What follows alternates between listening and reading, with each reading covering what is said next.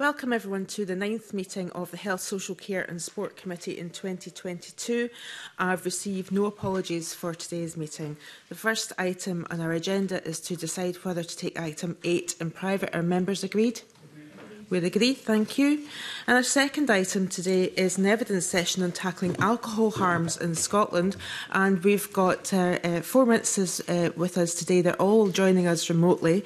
Uh, I want to welcome to the committee Alison Douglas, who's the Chief Executive of Alcohol Focus Scotland, uh, Professor Neve uh, Fitzgerald, um, Uh, from the Institute of Social Marketing in the University of Stirling, Lucy Giles, the Public Health Intelligence Principal for Public Health Scotland, and Eleanor Jane, Director of Scottish Health Action on Alcohol Problems.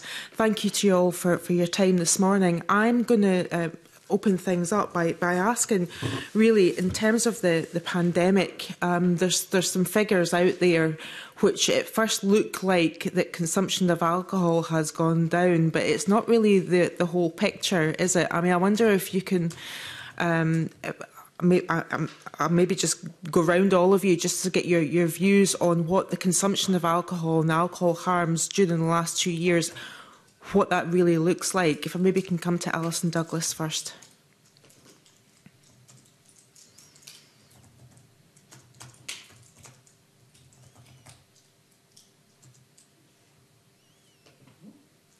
No, Alison, can you hear me?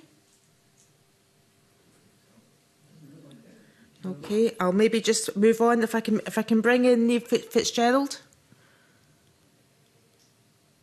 Thank you. Yes, um, I think you're right that, that that's not the whole story in terms of consumption falling. So uh, some of the work that we've done is to look at ambulance callouts during the pandemic and alcohol-related ambulance callouts in particular. And what we see is that although when the bars and pubs were closed, alcohol-related ambulance callouts were falling, um, even before bars and pubs reopened, we see a rise in ambulance callouts to drinking at home and, uh, and paramedics and other colleagues in the licensing system have expressed a lot of concern about a rise in home drinking in, in particular groups. Um, and I think even as researchers, we were surprised that uh, that those call-outs to pubs and bars and to city centres were replaced so quickly by call-outs to people's homes. And, uh, and so I suppose what we're seeing is that uh, in terms of that, uh, I suppose, indicator of alcohol-related harms through the ambulance service, uh, there's a fairly even split between um, harms relating to short-term use of alcohol in uh, in relation to parties and, and city centres and chronic long-term use of alcohol uh, where people are drinking heavily on a regular basis and, and often with alcohol problems. Can I come to Elinor Jayne? Um, yes, I think there's other people on the panel, Lucy in particular, who'll be able to speak um, in detail about the figures and all the data around um, consumption levels and death rates, etc., during the pandemic due to alcohol. But it really is, um, it really was a mixed picture.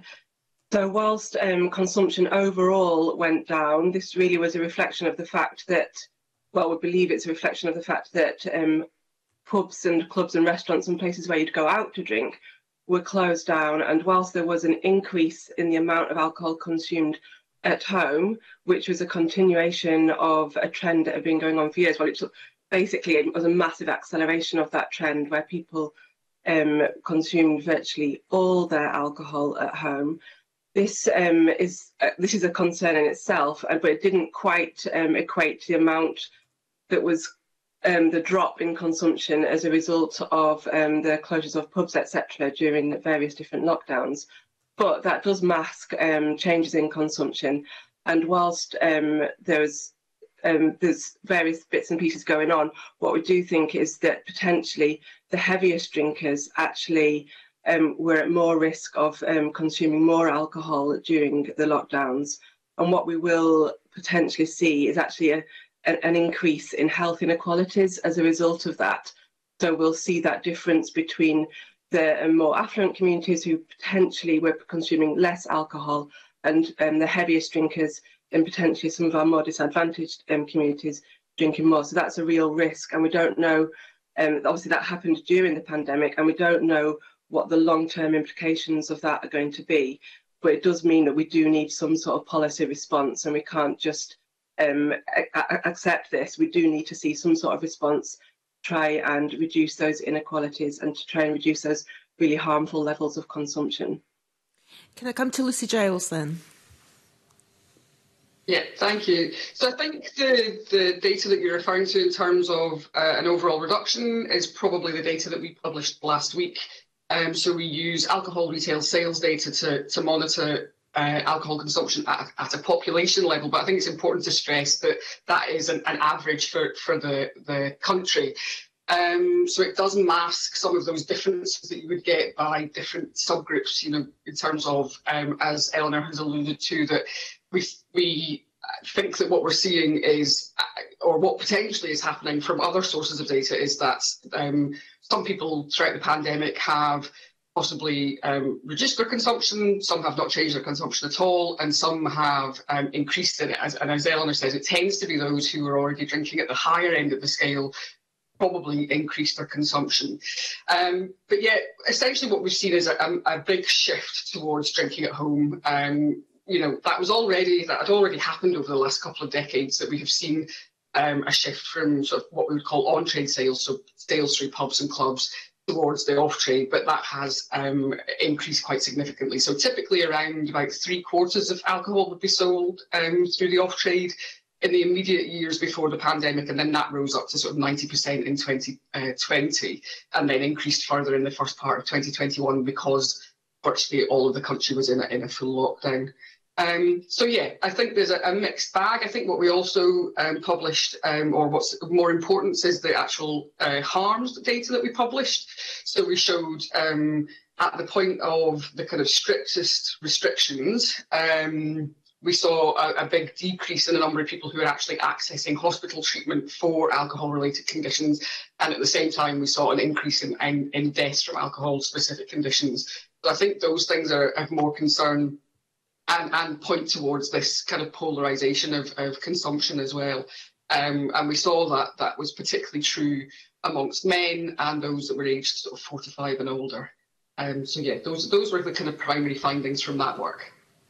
And Lucy, if I can come back to you on, on I mean, because obviously you're, you're looking at the kind of the, the data and the different demographics and, and what the patterns are there. In terms of like rural areas in, in, in particular, was there anything notable in uh, statistics there? So it's not something we've specifically looked at. Um, the, the sales data that we used in terms of managed, monitoring population level consumption, we can't drill down by demographic group. It just, it just, the data just isn't available for us to do that. So we would have to look to other data, such as survey data, um, to, to be able to look at that. So that's not something we've specifically looked at. Uh, our other panellists, of course, anecdotally, and, in the work that you do might have something to, to, add in terms of the urban versus rural, if there's anything of, of interest there in terms of al uh, alcohol harms and consumption, particularly in the last couple of years. Um, I'll bring in um, Elna Jane. Um, was, whilst we've not um, got any data, um, like Lucy says, in terms of the impact of the pandemic on consumption and harms in rural areas, we do know that um, culture, there's a very different infrastructure and culture around alcohol in rural areas, and we have carried out research um, before that has demonstrated that there's a very um, limited access to, say, alcohol-free spaces, and because of the reliance of the rural economy, quite often on tourism and hospitality, alcohol is quite central to a lot of um, the sort of social interactions in rural communities. So whilst we don't have anything in relation to the pandemic at this point in time, I think it is important to bear this um, sort of cultural difference in our rural communities in mind if we are going to be um, talking about different responses and how we sort of build back from the pandemic and address some of the harms that have occurred especially when it comes to, you know, there was data that was published by the Scottish Government last week um, about um, isolation and loneliness um, going up. And you can, it's obvious that in rural communities, this is going to be even more um, hard, well, harshly felt, I guess. So these are things that do need to be borne in mind that we cannot assume that the problems that are being experienced in rural communities are going to be the same in urban communities. And so we do need to think of different ways in order to um, build back and make sure that we do take action to reduce harm differently in our rural areas. Thank you. And I'm now able to bring in Alison Douglas. Alison, I hope you were able to to hear at least some of what's happened there, and you can come in from your perspective. No, and now, and sadly, we can't hear Alison. I wonder if um, You, you shouldn't have to, to do anything Alison. um, we should be able to. What we'll maybe do is we'll get someone from broadcasting to get in touch with you and maybe sort out some of the problems. I, I'm not, yeah, yeah, I'm, I'm seeing a nod from my broadcasting colleagues. Sorry about that, Alison. Can I just cut, come quickly to, to, to, to Neve um, before I hand over to my colleague Sandesh Gohani?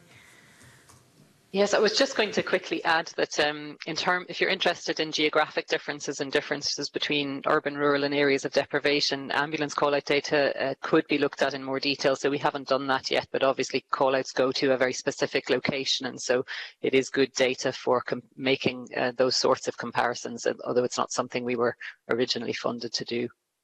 Thank you. Sandesh. Thank you, Convener. Um, uh, uh there's a couple of things that are really concerning uh, when it comes to alcohol harms in, in Scotland. Uh, and, I think it's all borne out by the fact that we need to be absolutely clear that uh, it's not the average isn't the average because there are people who are harmful drinking and and it's very skewed but the thing that i found really concerning uh, was that uh, even though we have that overall reduction uh, in the amount of alcohol that has been sold uh, that you've spoken about the average is 8 18 units per person per week. That's huge. That's over the recommended uh, amounts that we should be drinking, which is 14. Uh, and so I suppose my question would be what assessment do you think on the effectiveness of what steps we've taken? Uh, what is that effectiveness? Uh, and then my, I'll, sort of maybe let you answer that before asking my second question. Okay, I've, um, I'll, I'll maybe go to Neve Fitzgerald first, and then I'll come to Eleanor Jane. I guess in terms of alcohol uh, harm reduction, the three key policies are uh, making alcohol less affordable, making alcohol less available, and making alcohol less attractive. Those are the World Health Organization best buys. When you look at what Scotland has done in relation to those, we have addressed price, albeit our minimum price for alcohol is quite low and has, has stayed low for some time. So that is something that we could look at. Um, I believe that uh, plans are underway to look at the marketing of alcohol. Um, and there are other countries, I would say, that have done more on that, and we can learn from them. We know that in other countries, for example, they have uh, found that it is easier to have to take bigger and, and, broader action on alcohol marketing than it is to take piecemeal action. And one of my colleagues has looked at several countries in terms of their regulation recently. And on the third one, in terms of alcohol availability, um, what I would say is that uh, our research and, and our practitioners are telling us that actually the licensing system, as it's currently set up, cannot reduce availability, so it is not possible to take licenses away. Um, and so there is a limit to what can be achieved on availability in terms of reducing alcohol related harms. That's not to say that there isn't good that can be done through that system, and there are a lot of people work, working very hard on that. But I suppose if you look across those three best buys, um, whilst Scotland is very much viewed as a leader in alcohol policy worldwide, there is still a lot that could be done on all three. Um, and can I come to um, Elinor Jayne? Um, yes, um, in response to what you were saying, um, Mr. Gulhane, um, there is uh, the whilst the 18 units it does mask an awful lot because there are obviously as a proportion of the population that don't even drink. So you can see that there is a lot of people who will be drinking way in ex excess of the 14 units, which is the minimum risk guidelines. It's not that's not a safe level to drink. That's just what the CMOs have agreed is the minimum risk um, limit in terms of what um, adults should consume should um, consume maximum each week. That does mask an awful lot. And as Niamh um, has said, there are the World Health Organization best buys, and the Scottish Government very supportive and, well, I guess, bought into um, the World Health Organization's um, recommendations around alcohol policy. Obviously, one of the fundamental measures that the Scottish Government has brought in um, is minimum unit pricing. We did see when that was um, introduced, I mean, the, I suppose the whole context of minimum unit pricing is that affordability of alcohol is directly related to consumption of alcohol and therefore and consumption of alcohol is directly related to the amount of harms experienced across the population. So if you um, reduce affordability, you then reduce consumption, and then you reduce harms. And that's, um, that's the clear evidence around this, and this is what the World Health Organization recommends, and which um, is why um, this measure has been taken forward in Scotland. Um, when it was introduced, it was introduced at the level of 50p per unit in 2018. It was proposed to be 50p when the legislation was first mooted in 2012, but because of delays, because of the legal challenges to the legislation, and um, it was when it was finally introduced six years later, it was introduced at that same level that had been proposed six years earlier. So whilst um, we um, were supportive of that, we would argue that it should it should definitely now be increased if we really are genuinely going to talk about reducing the affordability of alcohol. And in terms of the affordability, um, alcohol is now in 2020 was 73% more affordable than it was in 1987, which just goes just demonstrates, I guess, why we've seen alcohol harms increase um, so much in that period. So in, it's our view that whilst MUP is a very positive measure, and we do want to, it to see see it now uprated 65p in order to give it a bit more teeth and to actually impact on um, affordability a little bit more. What we'd also like to see is it for to be automatically linked to inflation so that we don't have to go through um, regular reviews and legal sort of processes and to um, uprate it each time, but it should be automatically linked so that it, its level of affordability is maintained. So that's um, one measure that we'd like to see um, taken further. But yes, there's lots of other measures that could be taken forward. And around marketing and sponsorship, we do think is a, a really um, big area that the Scottish Government is committed to doing, um, introducing restrictions upon this. It's our view that there should be total regulation of all alcohol marketing in Scotland, um, especially marketing that may affect children and young people and also um, people who are in recovery from alcohol problems, who are regularly exposed to marketing around alcohol and find this really difficult. Um, what we'd particularly like to see is um, an end to alcohol sponsorship in sports, because we do feel that this is totally incongruous to have a healthy participatory activity, um, have alcohol, which is intrinsically a harmful product, involved in this. Um, so, for instance, in the 2020 Six Nations um, broadcast coverage, there was um, alcohol was mentioned every five or six seconds in the broadcast of a Scotland um, England match. So it's that's the sort of thing that we would really like to see restricted. Try and make alcohol less like a, a sort of normal commodity, but the commodity that it is, which is that it it does come attached with health risks. There's a whole load of different measures that we do think the Scottish Government should take forward in this regard.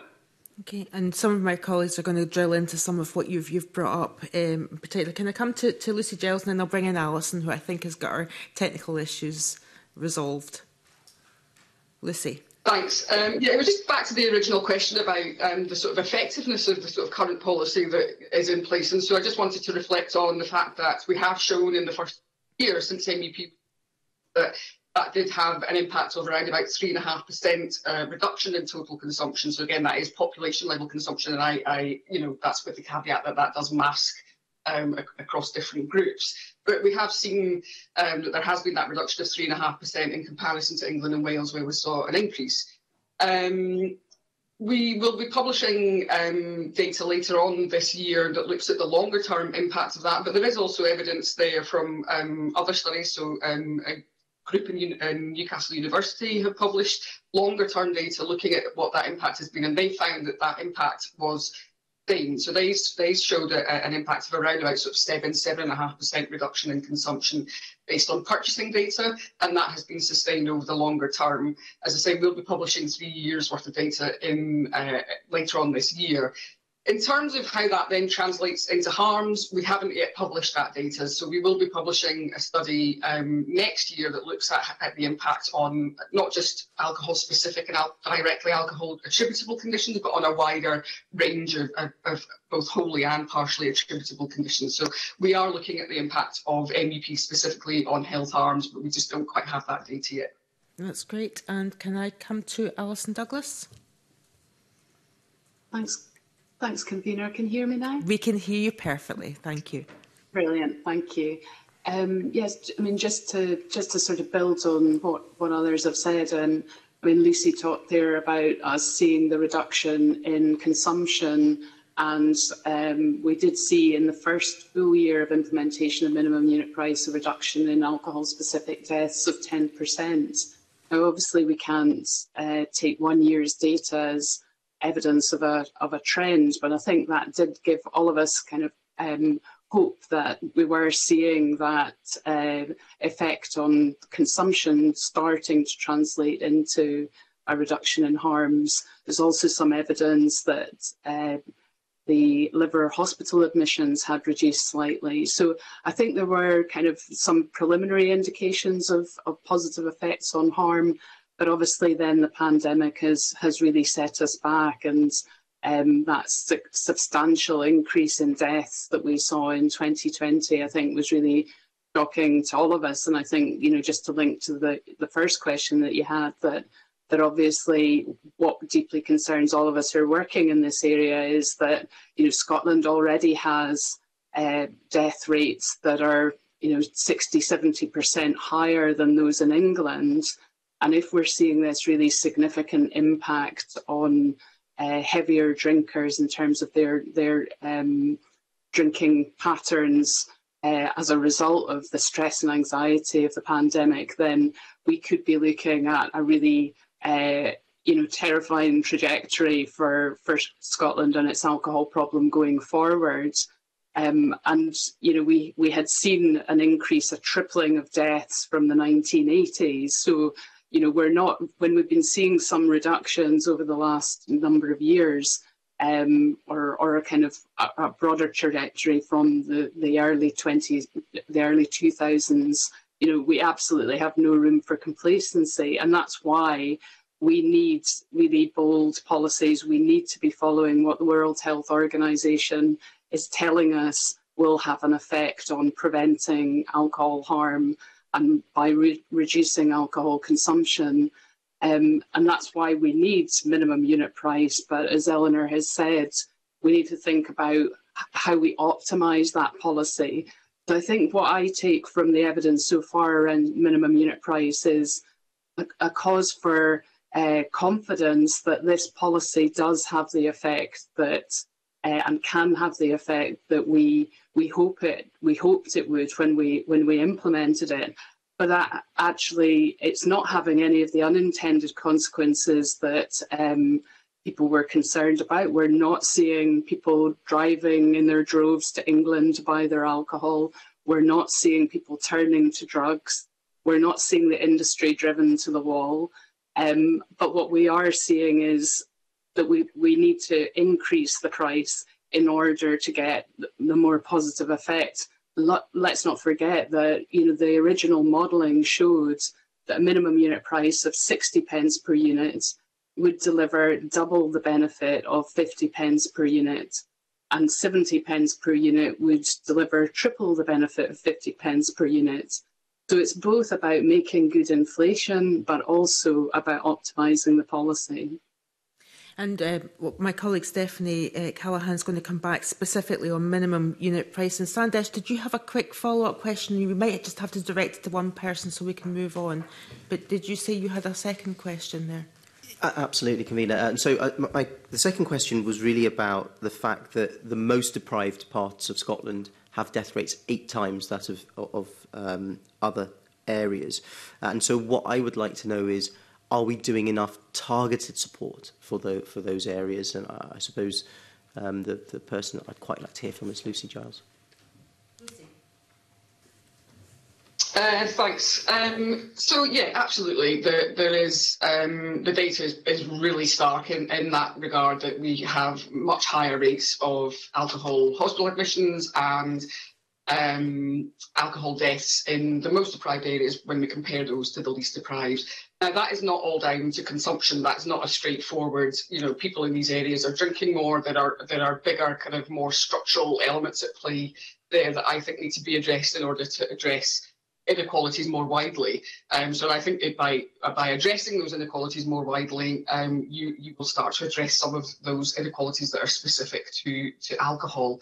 Um, so I'm, I was quite um, uh, heartened by the fact that I, have seen that you have um, a call out for evidence specifically around inequalities. So I'd really um, ask the committee to, you know, take a, take heed of what comes out of that um, of that call for evidence and and really sort of in, start to implement some of those measures, particularly around things like income inequalities, employment, housing, all these kind of things. It all plays a part in terms of that that more structural, uh, more structural elements that sit behind that that those data. Thank you. Um, can we run questions around some of the Scottish Government policies that are in place? Uh, Emma Harper. Thank you. Good morning to everybody in the panel. Um, I think uh, Dr Gulhani has uh, covered some of what I was going to ask, actually. But uh, I am interested in where we have made the best progress, and maybe we talked about maybe not some of the best progress as, uh, as far as it relates to health inequalities. But I think, Eleanor Jane, you talked about the if we affect affordability, that directly relates to consumption, and then if we reduce consumption, that reduces harm. Um, so I'm interested in, you know, what should we do to continue with implementing the best progress, and then where do we need to change tact, especially when it comes to um, pandemic work. Eleanor Jane. Well, um, as I said earlier, I think um, we want to build on the success of the introduction of minimum unit pricing in Scotland. By we did as Alison was saying the data suggested it was having a, a, positive impact in the year after its introduction but then the pandemic came along and changed absolutely everything in terms of consumption and um, therefore harms and we saw um, deaths um, sadly increase quite dramatically in 2020 um, so I think whilst we saw that initial um, positive impact. That's why we are now asking for minimum unit pricing to be uprated to directly impact on affordability once again, and therefore um, reduce harms. So that's um, that particular measure. But then um, the, the World Health Organization does recommend that we take action on attractiveness as well and availability. And those are areas where there's probably quite a lot that can be done in Scotland now. So that's both in, in terms of marketing um, and restricting alcohol marketing, and whether that's, um, as, as I said earlier, in terms of sport, but it can be much more generally, it could be online, it could be in the street, it can be in various different types of media that we consume. Also, um, in terms of labelling, um, labelling could be much clearer and um, send, um, provide health information to consumers.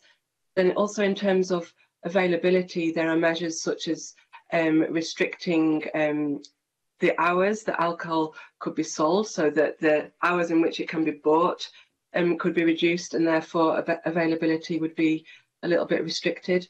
We could also, we could follow in the footsteps of, for instance, um, Ireland, which has introduced um, what's um, sort of colloquially known as a booze curtain in in shops, but treating alcohol, I guess, similarly to tobacco products, where it's behind a curtain. So, for instance, children can't go in there, and it's not easily, it's not therefore seen as part of your sort of normal shop or everyday shop, but it's seen as a slightly different product that you have to go out of your way to to actually buy and then then consume. So I think there's measures across all these areas that could be taken. Um, that, but I, I do think that the harms that we are now seeing as a result of the pandemic make all these options um, actually more urgent and we do need to see action across them or the Scottish Government to start to actually bring forward some proposals quite quickly in order to make sure that we don't see increasing inequalities as a result of the pandemic. And Alison Douglas wants to come in. Thanks. Um, as has been mentioned, um, you know, there are real structural drivers, as we all know, of inequalities and it can be quite difficult to identify interventions that can help reduce health inequalities without dealing with some of the fundamental uh, issues around poverty. Um, but actually, when it comes to alcohol, interestingly, alcohol interventions do reduce health inequalities.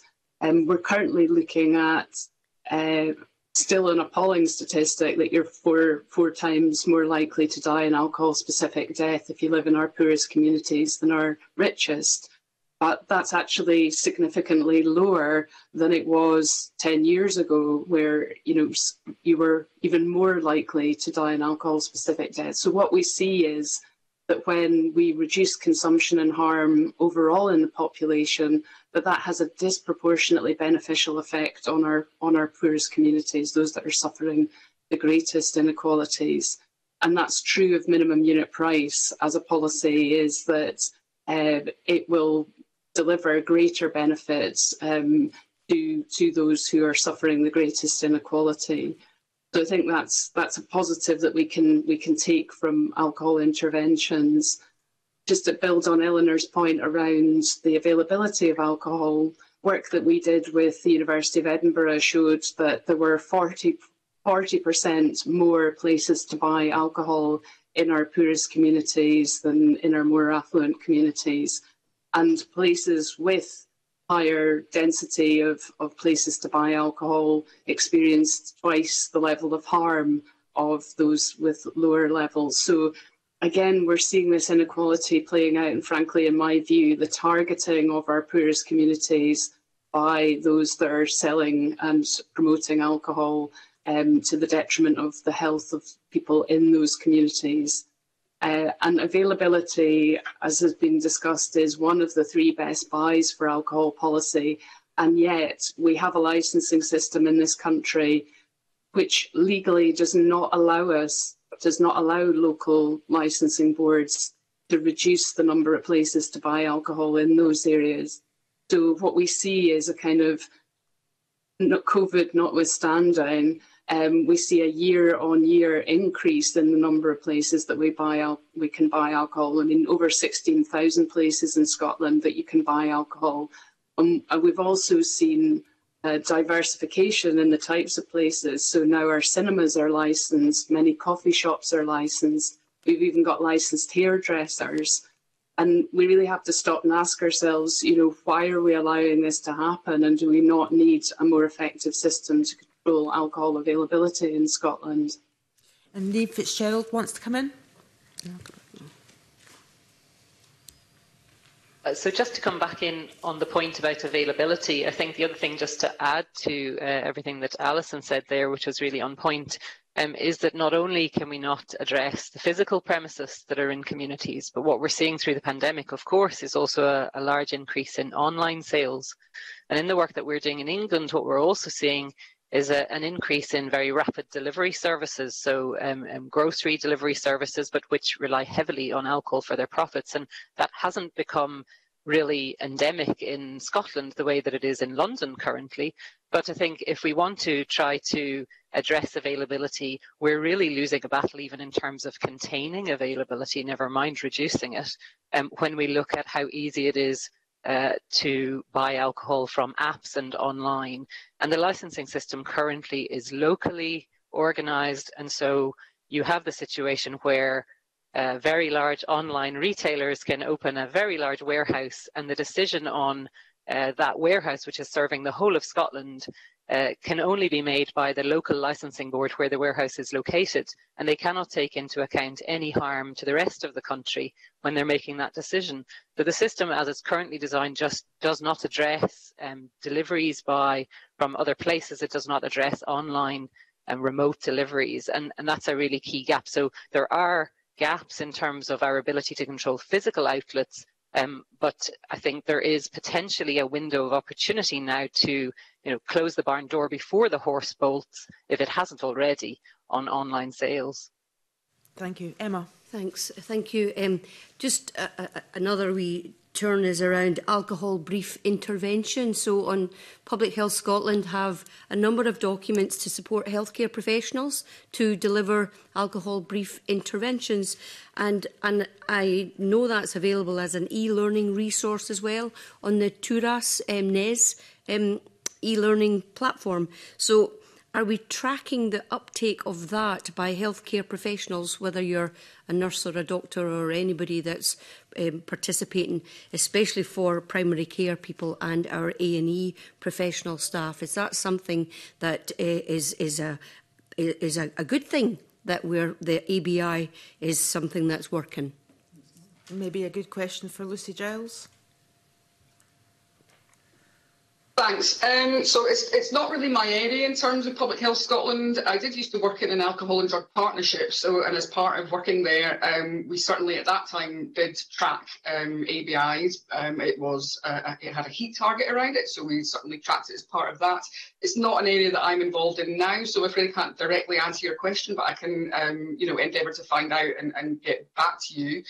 Um, yeah, but beyond that, I'm afraid I'm not really able to comment on ABI specifically. Niamh Fitzgerald wants to come in. Really good progress. Uh, sorry, Scotland has made really good progress in delivery of ABIs, and, and I would say is a world leader in terms of that national programme. But um, but the programme hasn't changed much since it was originally started. So I guess similar to minimum unit pricing, what we really need to look at now is how we can build on that success. What what else needs to be done? Um, ABIs, I believe, are still tracked. There is still annual reporting of the delivery, but there is an issue in terms of the new GP contract. Um, so what we see is that, um, that I suppose the delivery of brief interventions by general practitioners has fallen in many areas um, under the new GP contract, where prevention is not as big a priority as it was previously. Um, you know, care of chronic illness has has been more of a priority in that contract. So I think there are issues. What we know still is that there are many, many people who are attending health services with conditions and problems that are affected by alcohol, maybe caused or worsened by alcohol, who are still not asked about alcohol consumption as part of that.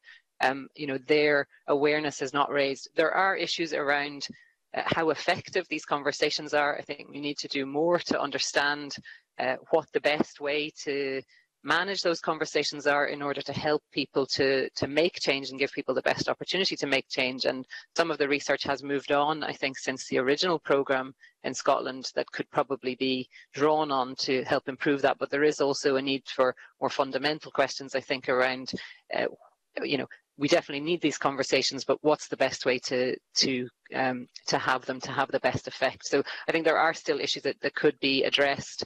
Um, of course, like any program like that, it relies on continued momentum and leadership and training, and uh, and that's something that is hard to sustain. So there were a lot of people trained to train health professionals um, in the program.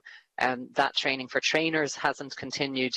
Um, so there there are certainly there's certainly more than could be done, but I think it's important to remember that whilst people uh, should be informed about alcohol when they are, I guess, appearing uh, with conditions that are affected by alcohol, um, the evidence for the effectiveness of alcohol brief interventions in terms of a solution to alcohol related harms is not as strong as it is for pricing, availability and marketing interventions.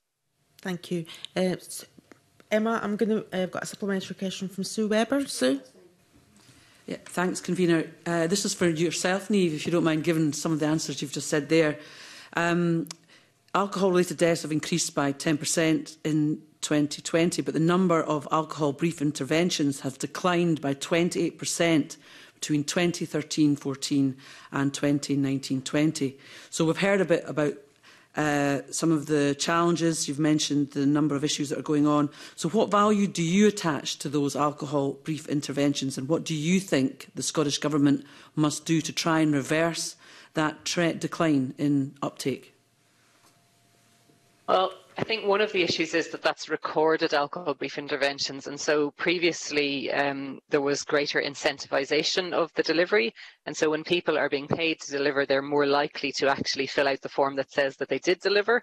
So I think we can't really be sure whether there are actually fewer conversations about alcohol happening or whether it's just that there is less recording of those conversations because there are because people are not receiving a payment every time they deliver in the same to the same extent that they were previously.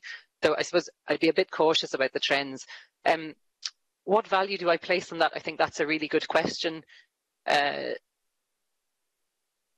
don't think we should be viewing reducing one of Scotland's biggest health problems as an either or. So although I did say that um, interventions on price availability and marketing have stronger evidence for effectiveness, um, I also feel quite strongly that uh, people are suffering from conditions and visiting health services and and they you know for example uh, people with depression people who are not sleeping they have a right i think to know that alcohol may actually be playing a part in that depression or maybe you know really affecting their sleep and they're not always told that. And I think that just feels like quite an easy win, and and it's not terribly difficult to get across to health professionals if we make it simpler.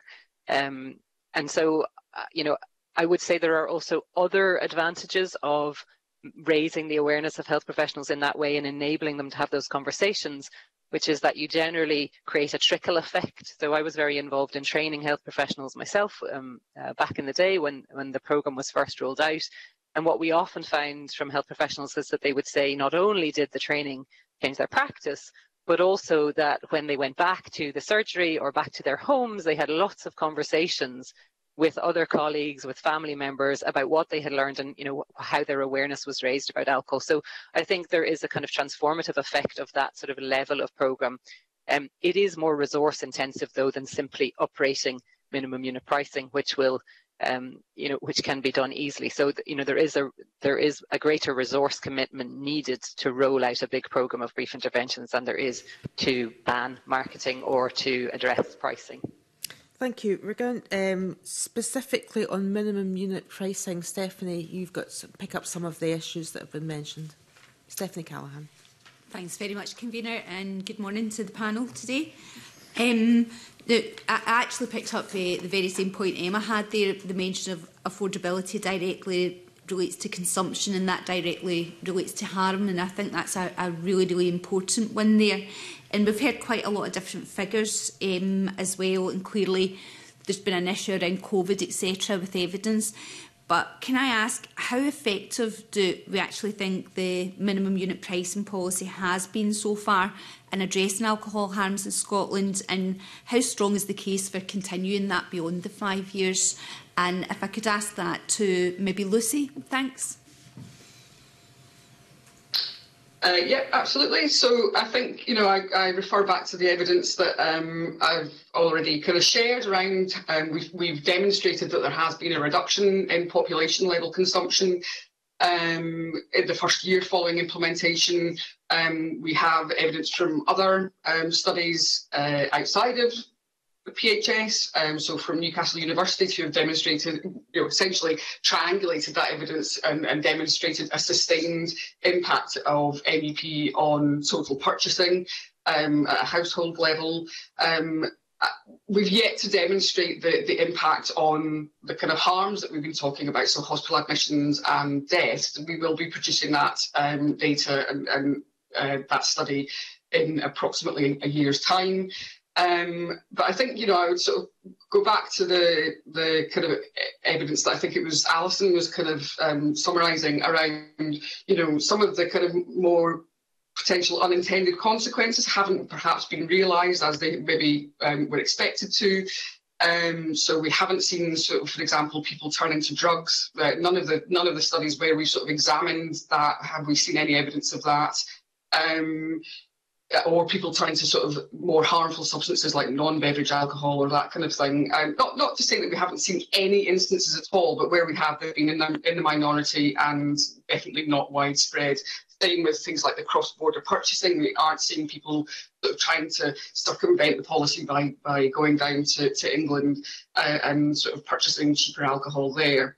Um, in terms of the continuation, sorry, we could in terms of the continuation, um, I mean, I think what we've seen is uh, with the Newcastle data, we've seen um, essentially a step change. So we've seen, you know, alcohol consumption at this level and it's fallen to a, a level and then that has been sustained. So um, it doesn't continue necessarily, that the evidence there would suggest that it doesn't continue to have an ongoing uh, effect, if you see. I mean, it's just a step change. So if you want to see any further improvement in that, then obviously action would need to be taken. To Alison Douglas. Thanks. Um, I mean, obviously, Lucy is uh, taking a very rigorous view of what we can and can't say about the evidence. And you, you'll have heard me say earlier about the 10% reduction in deaths in 2020. And quite rightly, you know, Lucy is, is not um, putting that forward as you know, proof or, or uh, um, a robust basis for thinking that minimum unit price has delivered that the reduction in deaths that we saw. And it would be you know, accurate to say that we have seen in the past um, some one-year reductions in deaths, which you know uh, were were for were noise in the system and were not sustained as trends. Uh, so it's quite right of her to kind of be, you know, very, uh, very kind of robust about what what she's saying is clear evidence of the impact of MUP. However, I think it's also fair for those of us who are kind of uh, very closely interested in this policy to, to remind people that that did happen in, in 2020 and that possibly that is an indication that MUP is having an effect on harm, but we will have better evidence on that going forward. And so often this is about comparing Scotland to, to England or Wales as sort of control countries so that we can, can identify, you know, what, what is um, likely to be attributable to minimum unit price and what isn't.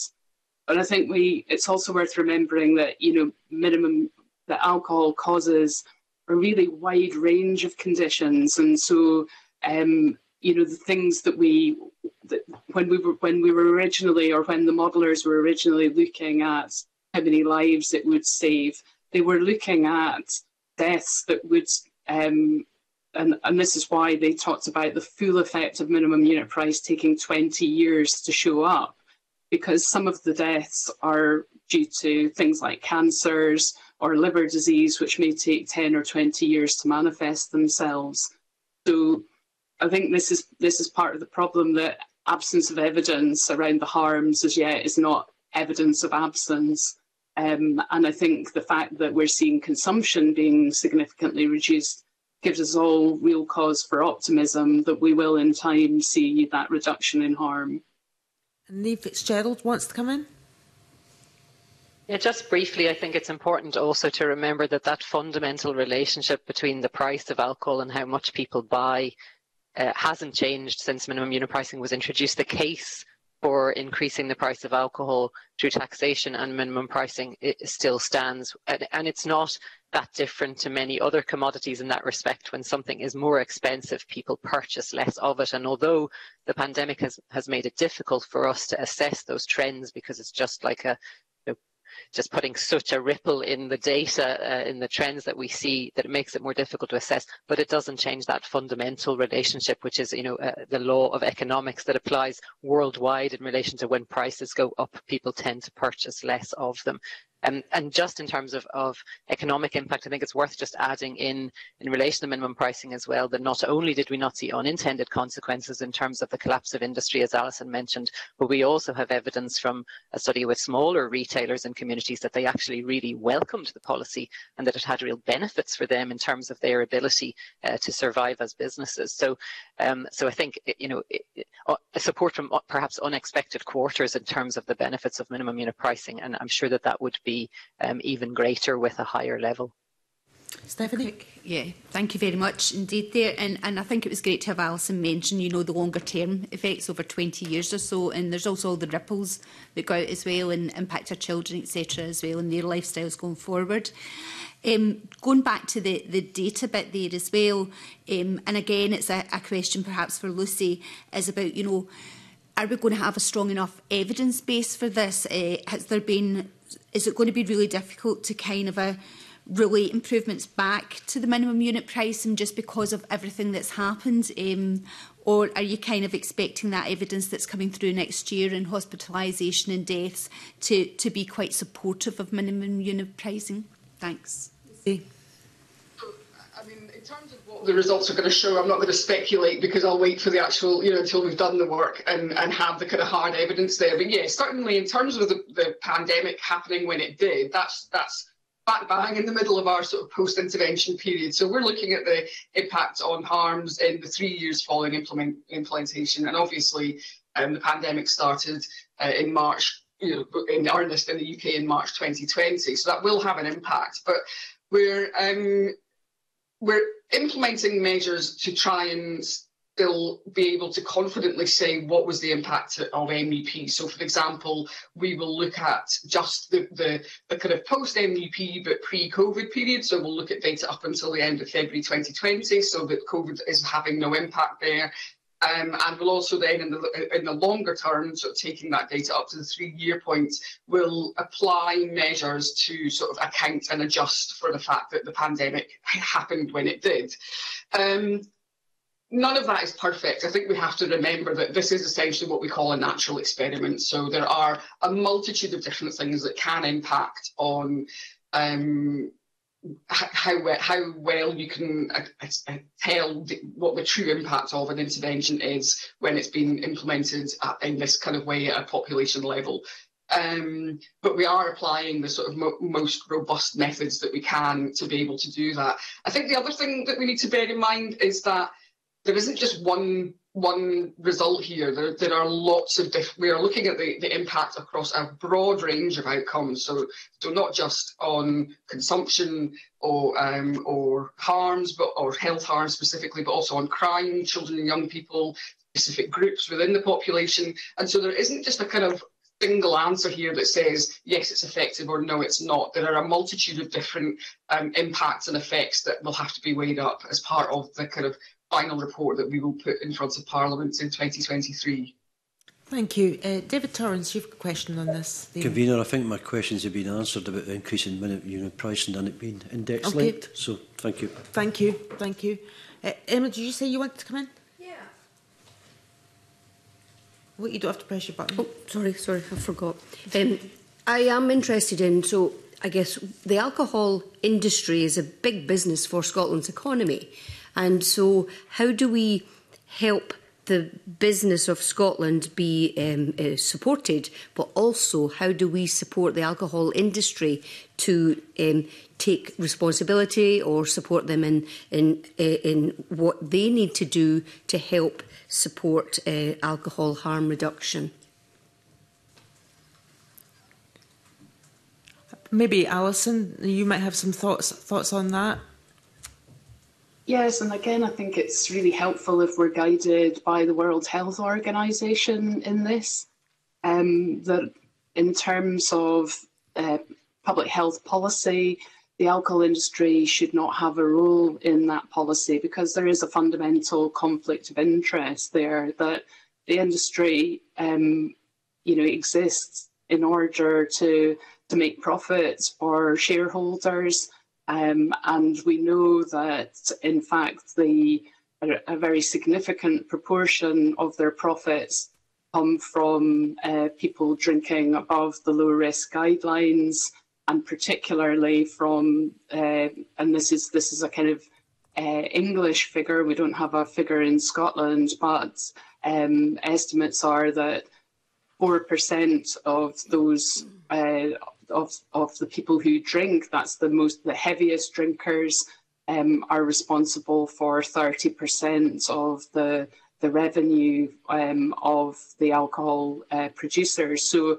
you, you can see there that um, actually, whilst the industry may may say or or, or may state that it wishes to to reduce alcohol consumption and reduce alcohol harm, that that's actually incredibly a conflicting thing for them to, to, to try and do because it would strike at their, their profitability.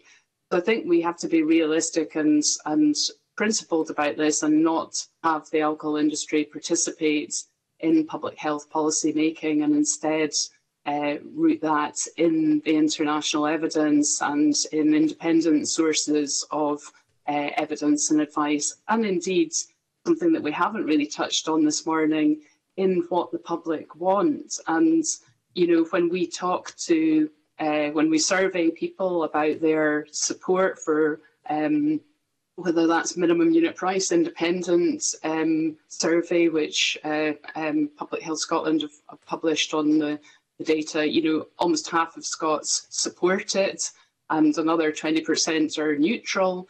So there is strong public support and that has built since minimum unit price has been in place. Um, similarly, when we talk to people who are in recovery, they talk about how they see alcohol everywhere and how when they're in the early stages of their recovery, they can't even go into shops. They have to get other people to shop for them because alcohol is so present and so attractive.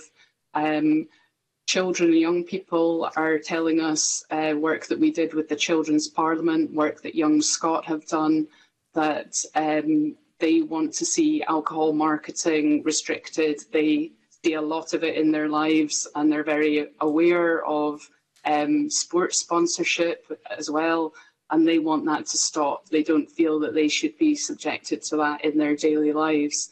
So I think, you know, we we need to be really prioritising what what people in Scotland want and the place that they want alcohol to have and uh, protecting their interests rather than enabling the alcohol industry to uh, influence. Uh, I mean, as we've seen, you know, they they um, postponed the implementation of minimum unit pricing by almost six years because of the legal action. You know, and they will say they were perfectly entitled to do that, um, which technically they were, but morally I would question when the Parliament had voted for it, when the public supported it, why were the industry self-seeking in, in trying to protect their interests and prevent that policy from being implemented? Thank you. And Elinor Jayne wants to come in on this, and then I'll move to questions from Gillian Mackay. Elinor. I think there's um, a few points around um, what the alcohol industry um, does and says, which can sort of confuse issues when it comes to public health. For instance, one of the main um, sort of, I suppose, actions that the alcohol industry promotes is education around alcohol.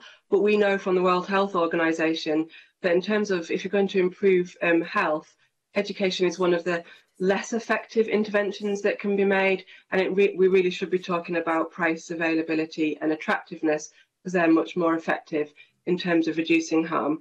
We also know that when the alcohol industry takes um, voluntary action to try um, in lieu of any actual regulation from government, for instance, around labelling, that um, they will potentially put information on labels, but will portray it in a way that downplays risks or print it or put it in um, a, a, slightly see-through colour. So whilst it's on the label, it's very illegible compared to other information that's on the label. So I do think that um, regulation of the industry and in terms of labelling and marketing is actually really important because their voluntary approach is really just not um, rigorous enough. And there is actually quite a lot of um, work that's been done in terms of the world of academia that with peer-reviewed articles looking at this and, and looking at what the alcohol industry has done and showing how ineffective it is in terms of conveying information to consumers.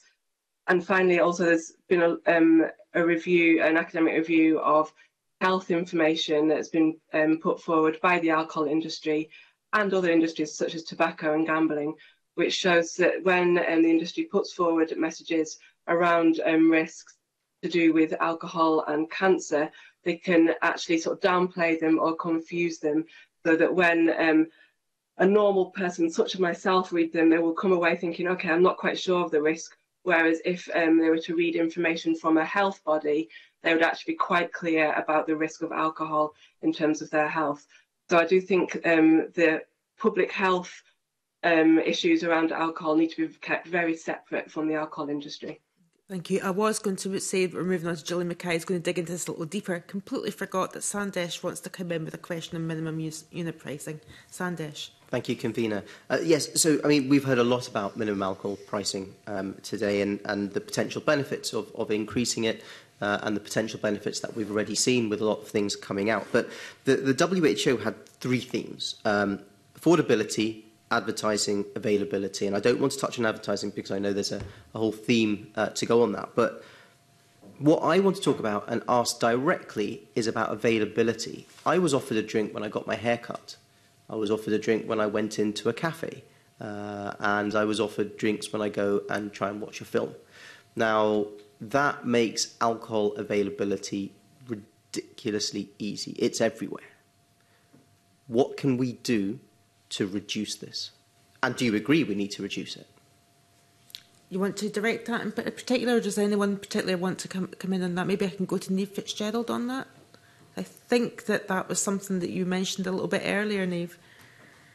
Yes, I'm happy to take this. So um, we're just in the process of completing a very big review of public health involvement in the licensing system in in Scotland and England, and we've um, compared the two systems and looked at um, whether or not we can actually achieve reductions in health and crime harms from alcohol through the licensing systems. And and uh, and without wanting to kind of preempt papers that are not published yet, uh, I'll certainly share them with the committee when they come out later this year.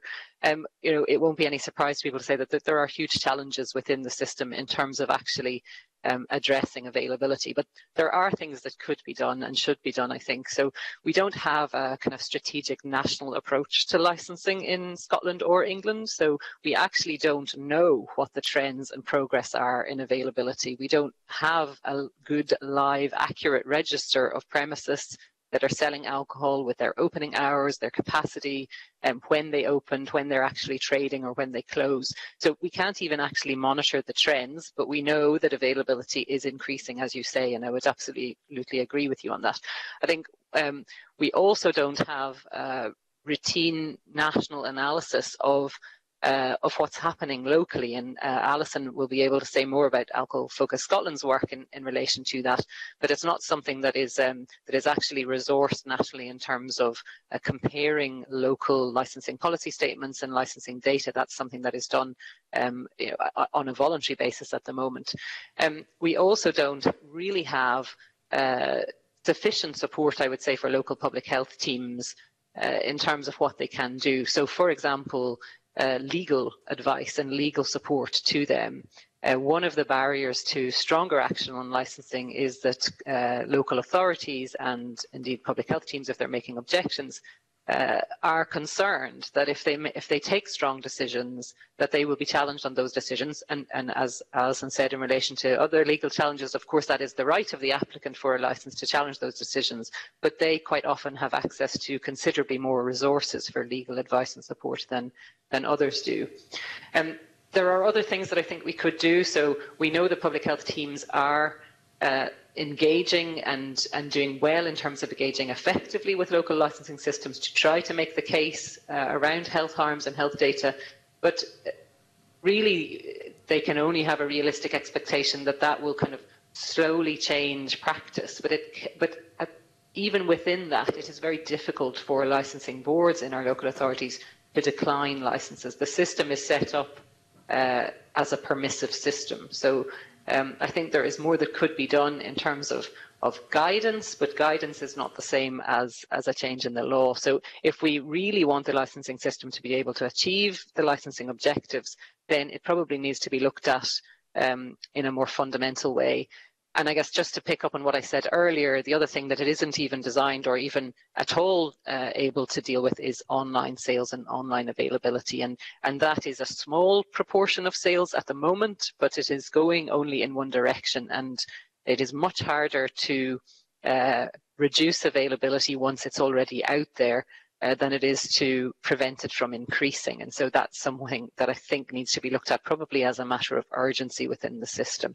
But as things stand, you know, in terms of you being offered a drink uh, when you go to get your haircut, we can't take that license away once it's granted. The system does not allow that to be done. Um, so it would be quite a fundamental reform if you were looking to do that. But at the very least, we should be looking at strengthening the system to do what it is supposed to be able to do now, which is at least to contain availability in areas where there is existing high availability. I'm going to briefly bring in Lucy Giles on your question before I move to Gillian Mackay. Lucy? I, I, just wanted to sort of follow up on what some of what uh, Niamh was saying there around data. So uh, um, I'm involved in a piece of work at the moment in alcohol surveillance systems, so essentially bringing together lots of data sources monitor a range of different indicators at both local and national level. Uh, and I think just Niamh's really highlighted some of the issues that we have there in terms of if we don't have the data, then we can't tell how how we're impacting with different policies and, and with different um, not you know local interventions. So yeah, it would just be, um, I guess, really supporting what you were saying there around trying to ensure that we have good quality data to be able to then monitor um, where the problems and issues are and then progress against those. Thank you. The long-trailed uh, Gillian Mackay Over to you, Gillian. Thank you, Convener. I'm aware that we've sort of touched on various other questions, bits of marketing and sponsorship, so I'm going to try and squish questions into, into each other to try and cover everything. Um, so we've already referenced the um, the SHAP report on alcohol marketing during the Six Nations. Does the panel believe there should be a full ban on alcohol sponsorship of sport? And given that alcohol sponsorship can be very lucrative and many sports clubs are facing challenging financial circumstances, does the panel have views on how we can encourage clubs to move away from alcohol sponsorship and whether a full ban would be better through legislation or what mechanism should be used for this? And can, could I go to um, Alison Douglas first? Yes. Alison.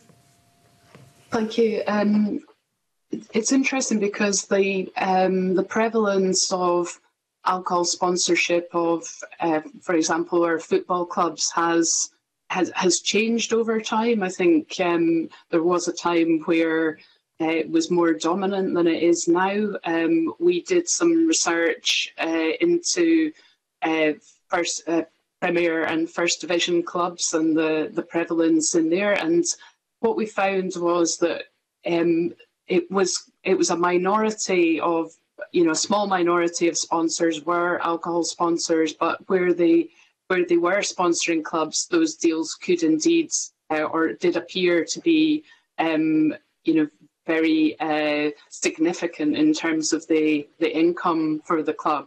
It's very difficult to get figures on that, but you could tell just by the prominence of the sponsors that that, that was the case.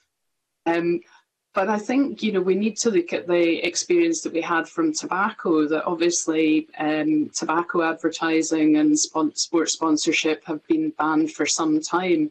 And what tends to happen is that you know uh, there are other sponsors around. There are others that, that come out. In fact, you know it's it's you know, not that I would want people to be relying on betting betting companies either, but you know, betting companies have become more prominent. There's there's IT companies, finance companies, um, and uh, and the like. So so there's actually a broad range of sponsors who are out there sponsoring at the moment. Um, you know, one way of sort of managing the transition would be to uh, to phase it out. Um, another approach that they've looked at in Australia was actually to create um, um, a, a, fund um, from uh, to to to help uh, clubs out in in the short term as they transition. So I think there are ways of doing it, and I think that tobacco gives us um, a good experience that we, you know, it doesn't necessarily mean that clubs will uh, fail because where sponsorship has been withdrawn. And uh, Elinor Jayne wants to come in.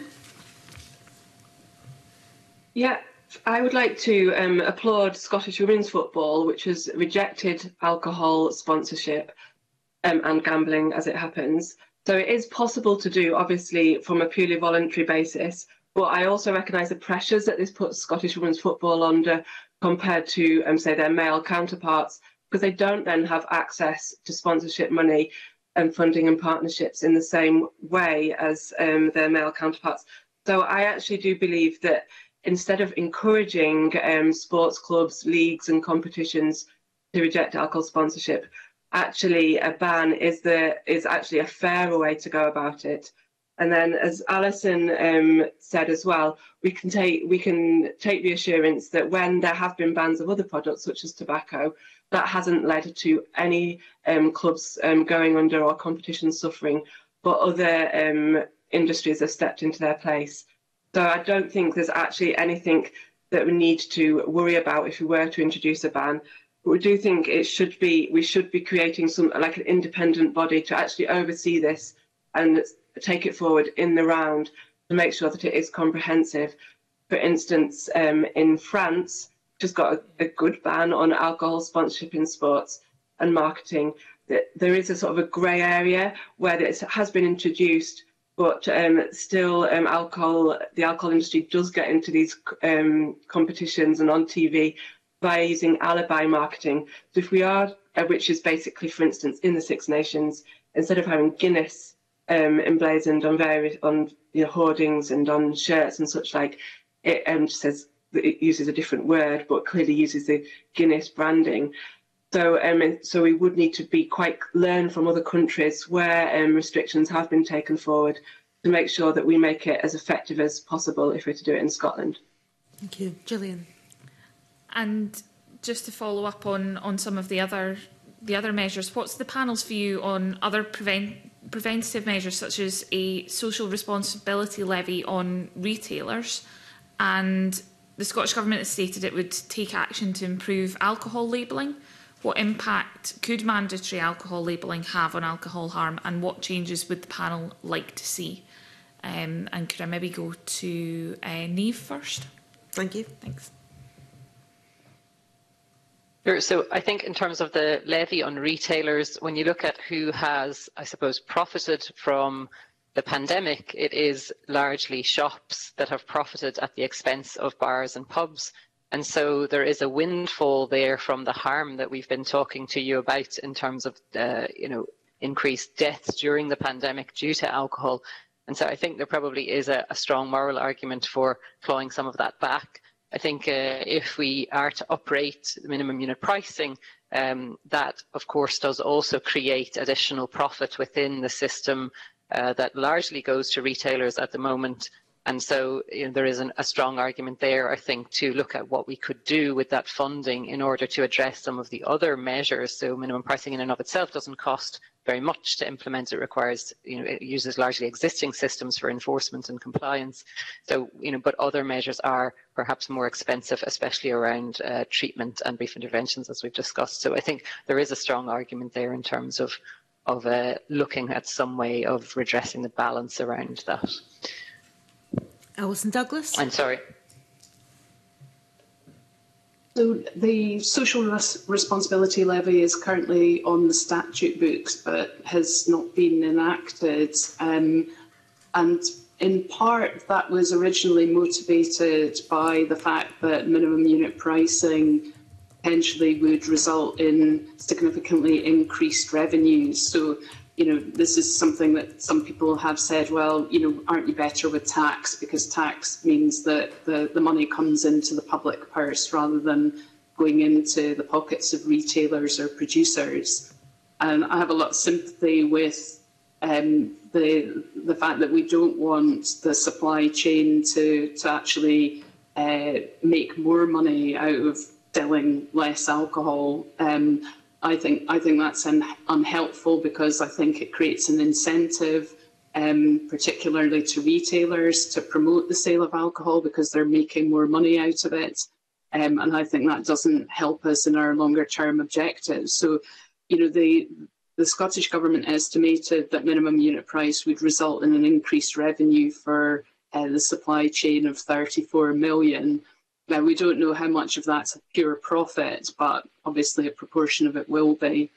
Um, what we're advocating for is an alcohol harm prevention tax, and that would apply to retailers selling alcohol, um, and it would come into the public purse and be used to offset the uh, the harms caused by alcohol, and could be used at local level um, so it's it's kind of like a version of the public health tax that we had a few years ago, um, and it would be linked preferably to how much alcohol the retailer sold. And this, this kind of relates to a point that, that Niamh was making earlier about availability. A very important um, uh, opportunity for us is to create a condition on all licence holders in Scotland to provide data on how much alcohol they sell, and that would that would really help inform local licensing decisions and this national strategic approach to controlling availability that we've we've talked about.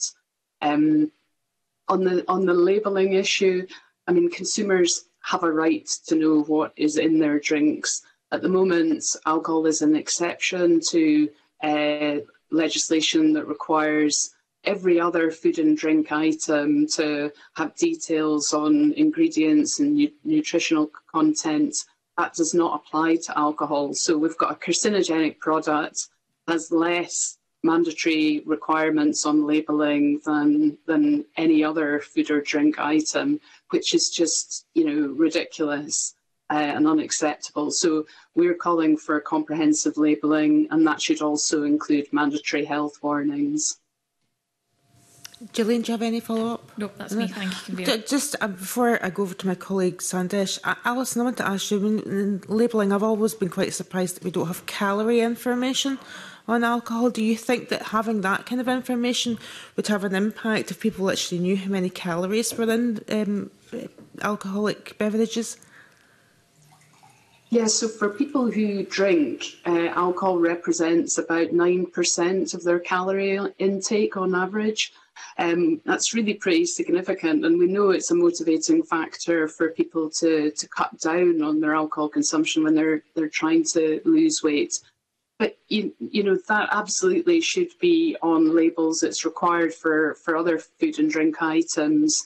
Um, recent research that we did showed um, we we looked at we analysed 30 different types of wine, um, white wine, red wine, rosé, sparkling, fruit wines and what we showed was that you, you have absolutely no idea just based on the type of wine that you're drinking, how many calories it contains or how much sugar it, it contains. Um, and actually, sometimes these things are inversely related. So sometimes you might think that you're making a healthy choice by having a, a lower alcohol wine, but actually you may end up drink, drinking significantly more sugar. Um, because because of this inverse relationship. And you know, a bottle of red wine had 600 calories in it. You know, so they can be highly calorific and they can contain a lot of free sugars. You know, two glasses of wine um, of one wine was equivalent to uh, the 30 grams of, of sugar that should be the maximum you're you're consuming in any one day. If, if people don't have the information, they cannot make informed choices, and that's why it needs to be mandated because the industry won't do it without being required to do it. Thank you. Sandesh, you have a quick question on yes. something that Alison mentioned. Absolutely. Thank you, Convener. Uh, Alison, I, I just want to be absolutely clear because I'm staggered by something you've just said and I didn't realise that this was the case.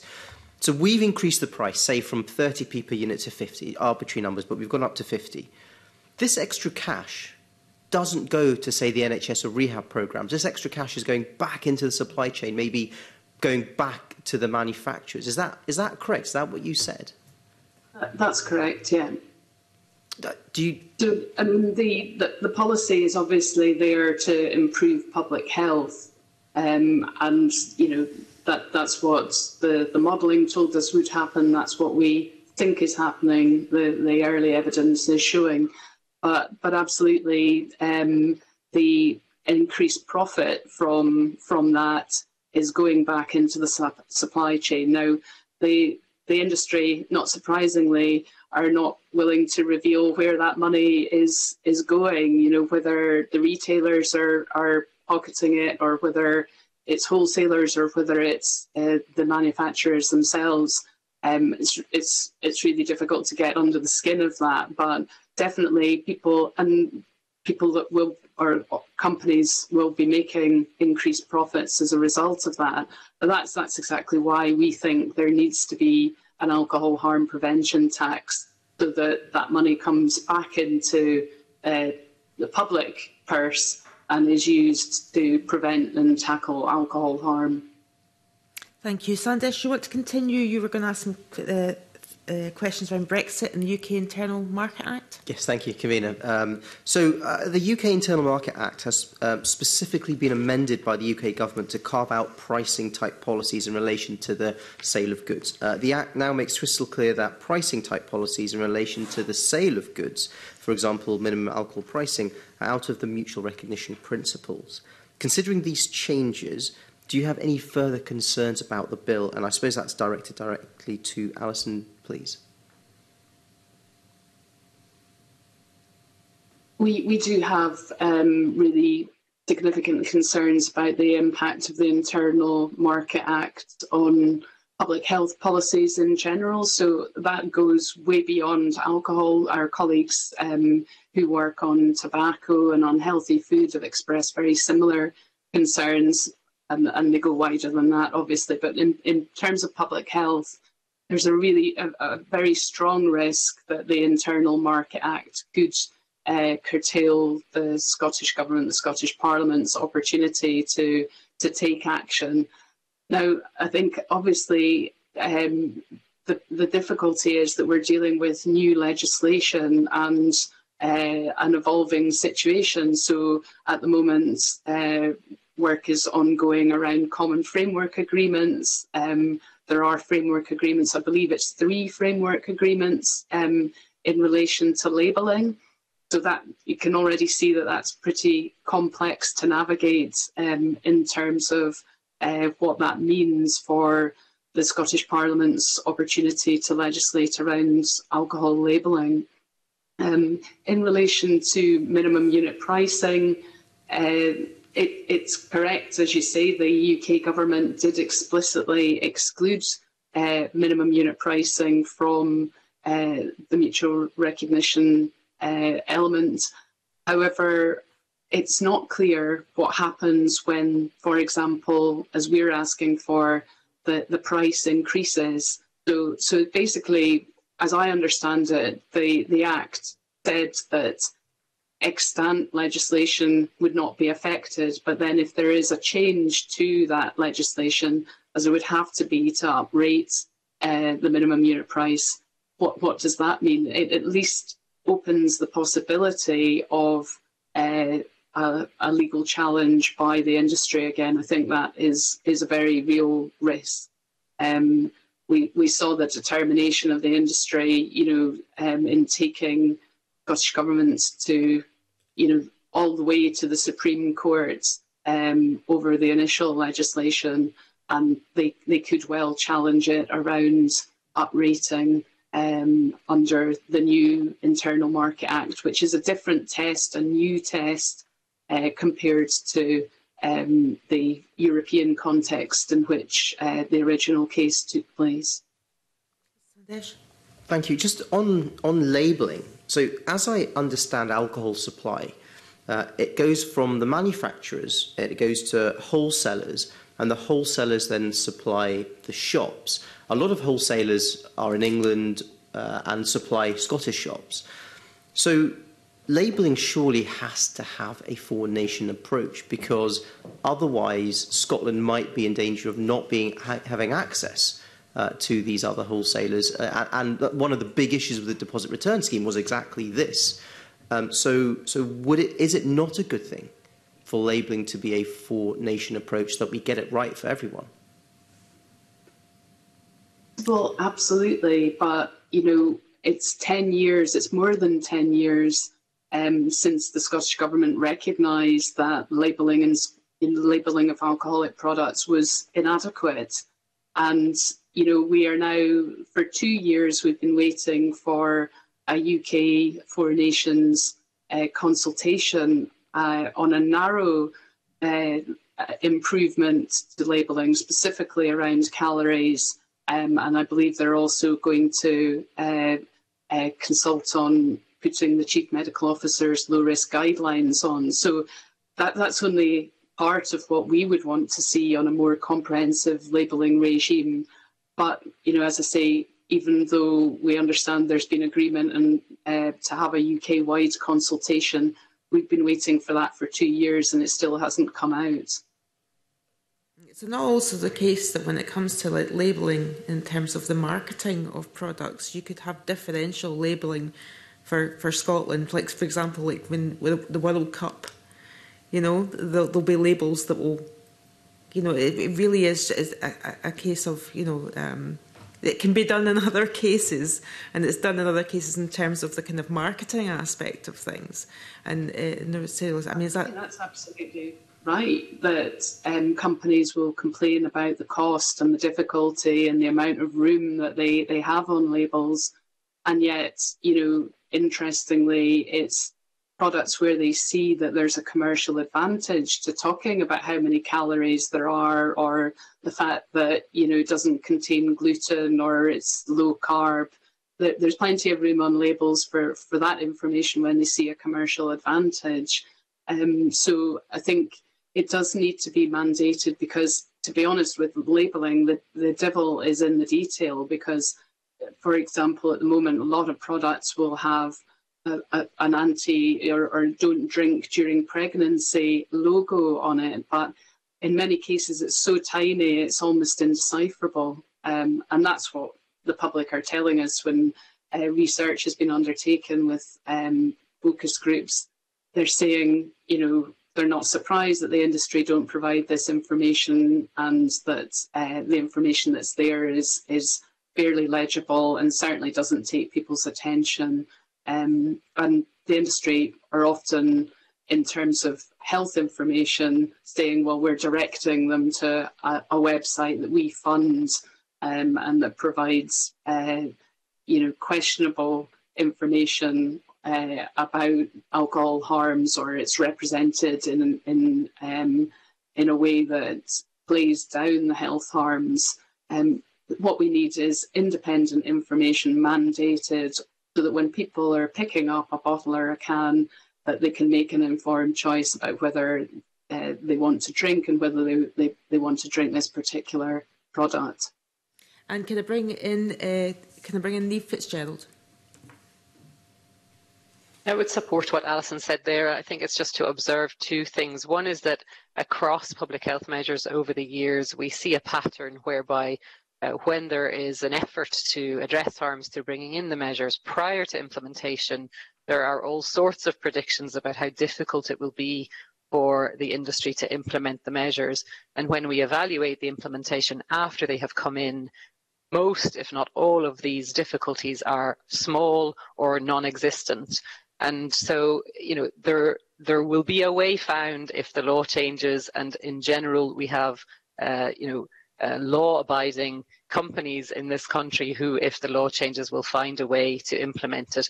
And and the second point is that um, that I think we need to look beyond just the alcohol industry when we're looking at the economic effects of these public health policies. If people are not spending money on alcohol, they are spending money on something else in the economy, and quite often something else that uh, that benefits their local community more than the tax uh, going uh, on alcohol to the UK government and and not necessarily being reinvested back in those local communities. So, so it's not that people hoard that money; they are spe still spending it and contributing it to the economy, but perhaps on something that is not harming their health as much as the alcohol is. Okay, can I move on to treatment? That's Sandesh. You... Yep. Um, Around treatment of alcohol harms, we have uh, questions from Sue Webber. Sue. Thank you, Convener. Um, a recent study uh, conducted in South Korea, I'm not sure if you're aware of it, revealed that a therapeutic community-orientated day treatment programme resulted in continuous abstinence rates at six months that are nearly eight times higher than those seen in the control group. And what was interesting, what I found interesting, that both the treatment group and the control group were women. So when it comes to treating alcohol use dependency, what different needs do men and women have? And is there more we can do to address the needs of women specifically? Um, I'm, I'm not quite sure who might have first insights into that one. I've scribbled down here Elinor, but if I've put you on the spot, I'm sorry. We'll go to Elinor then. I'm not sure um, if there has been a lot of research into the different differentiation of services for men and women, but um, I do know that in terms of recovery communities, so once people have potentially accessed treatment services and actually then embarked on their recovery journey as an individual, those communities are shaped by those people themselves. So there are groups within there who will be specifically um, for men or specifically for women. Um, and I think that and that peer support is obviously very well evidenced as crucial in terms of people being successful in their or having a positive recovery journey. Um, you may be sort of related as you may be interested that we're about to publish some research that's been carried out by Glasgow Caledonian University into alcohol treatment services and the LGBTQ plus community who this is a community and like many other um, more sort of minority groups will experience more alcohol harms as a result of stigma that they experience because, for instance, in this case, because of their sexuality um, or gender identification, then when that is, they then experience more alcohol harms than the general population, but then accessing um, treatment and services can be more difficult for these groups because they're just certainly they're just not set up for or designed to be inclusive of people from different backgrounds. So, for instance, uh, the research we're yet to publish will show that um, people from the LGBT plus community um, feel excluded quite often, well, can feel excluded from treatment services because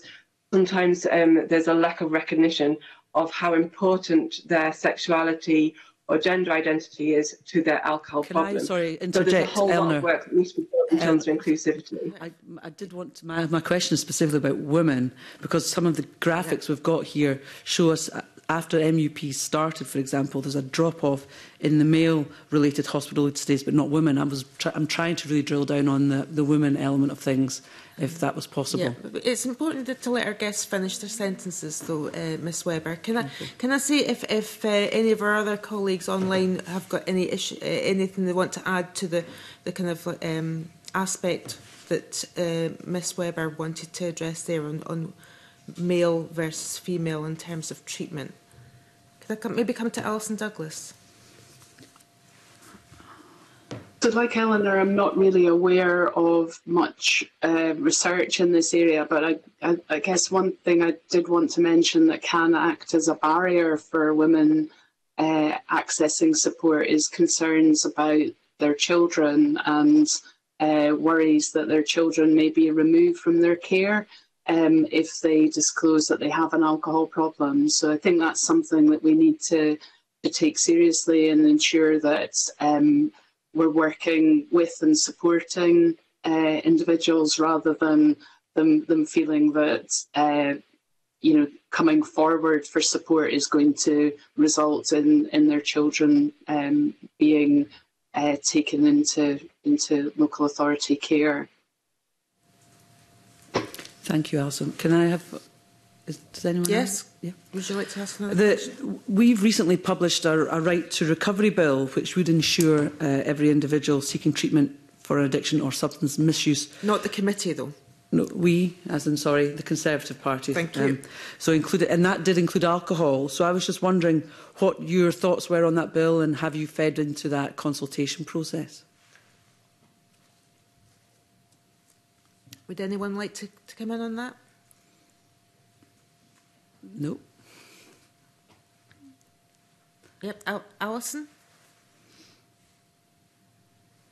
Um, we uh, we very much welcome the, the the intention behind the bill. I think we absolutely recognise some of the um, the concerns that are driving it. That uh, that services are not available there um, to the degree that they ought to be for um, people with drug and alcohol problems.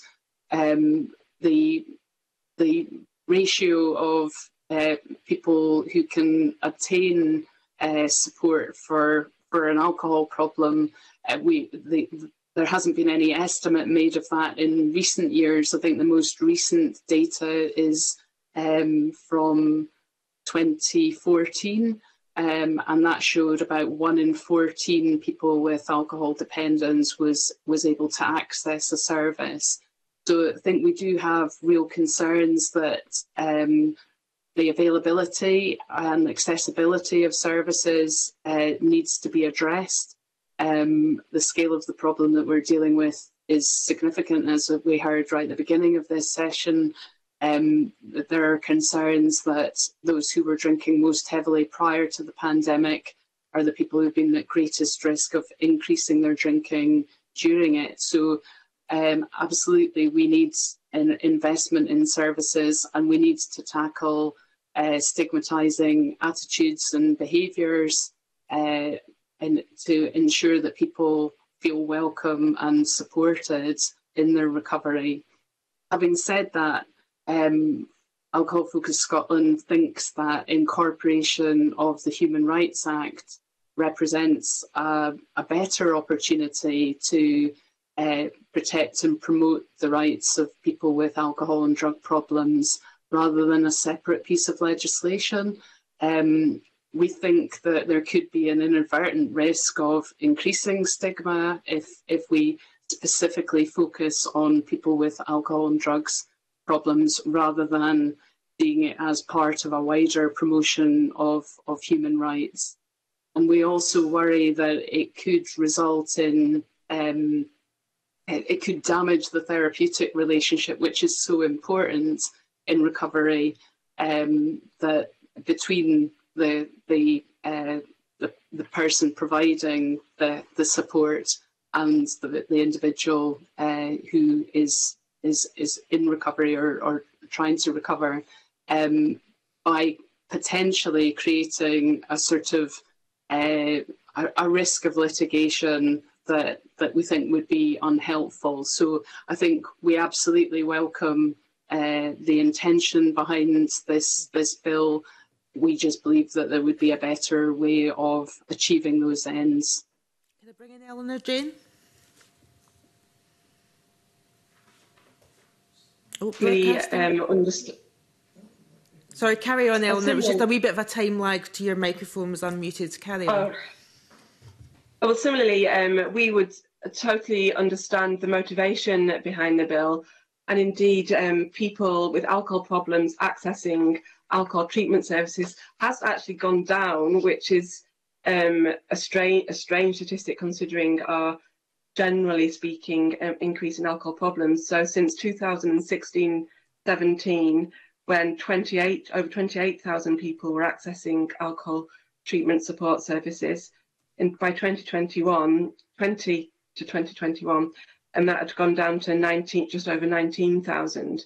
So there is obviously a problem that needs to be addressed, but we would be concerned that introducing a sort of technical legal right like this would actually serve as a bit of distraction from the most fundamental things that need to happen with the system, which is actually about resource and direction and um, making sure that we've got enough people um, in our services with the right skills to actually um, support people to access those services. And as Alison said as well, I do think that there's a risk of further stigmatising a group of people who already experience an extensive amount of stigma by actually introducing a right for this specific group, um, which then sees them treated slightly differently to other people who um, access um, healthcare and treatment services. So I think it's actually, whilst the intentions are laudable, potentially the implications of it could actually distract from what we need to do, which, which is actually fundamentally increase access to services we actually think the forthcoming um, UK alcohol treatment guidelines, if once they actually do get introduced and they have been delayed, um, if they are introduced and then implemented in Scotland, if they're backed up by some meaningful standards about quality of care and access, that is actually an opportunity to see some real change in terms of services in Scotland.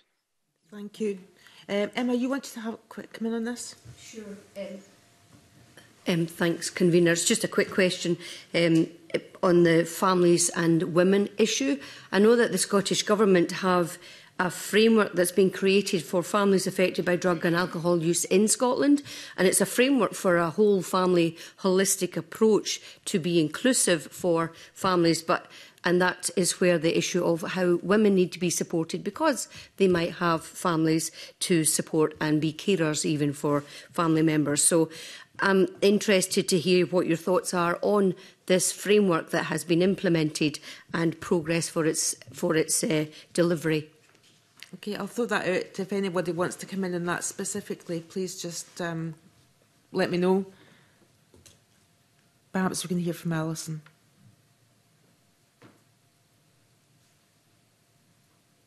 I think it's really welcome that uh, we are taking a whole family approach. I think um, we we talked about uh, in in the past about the hidden harm of alcohol.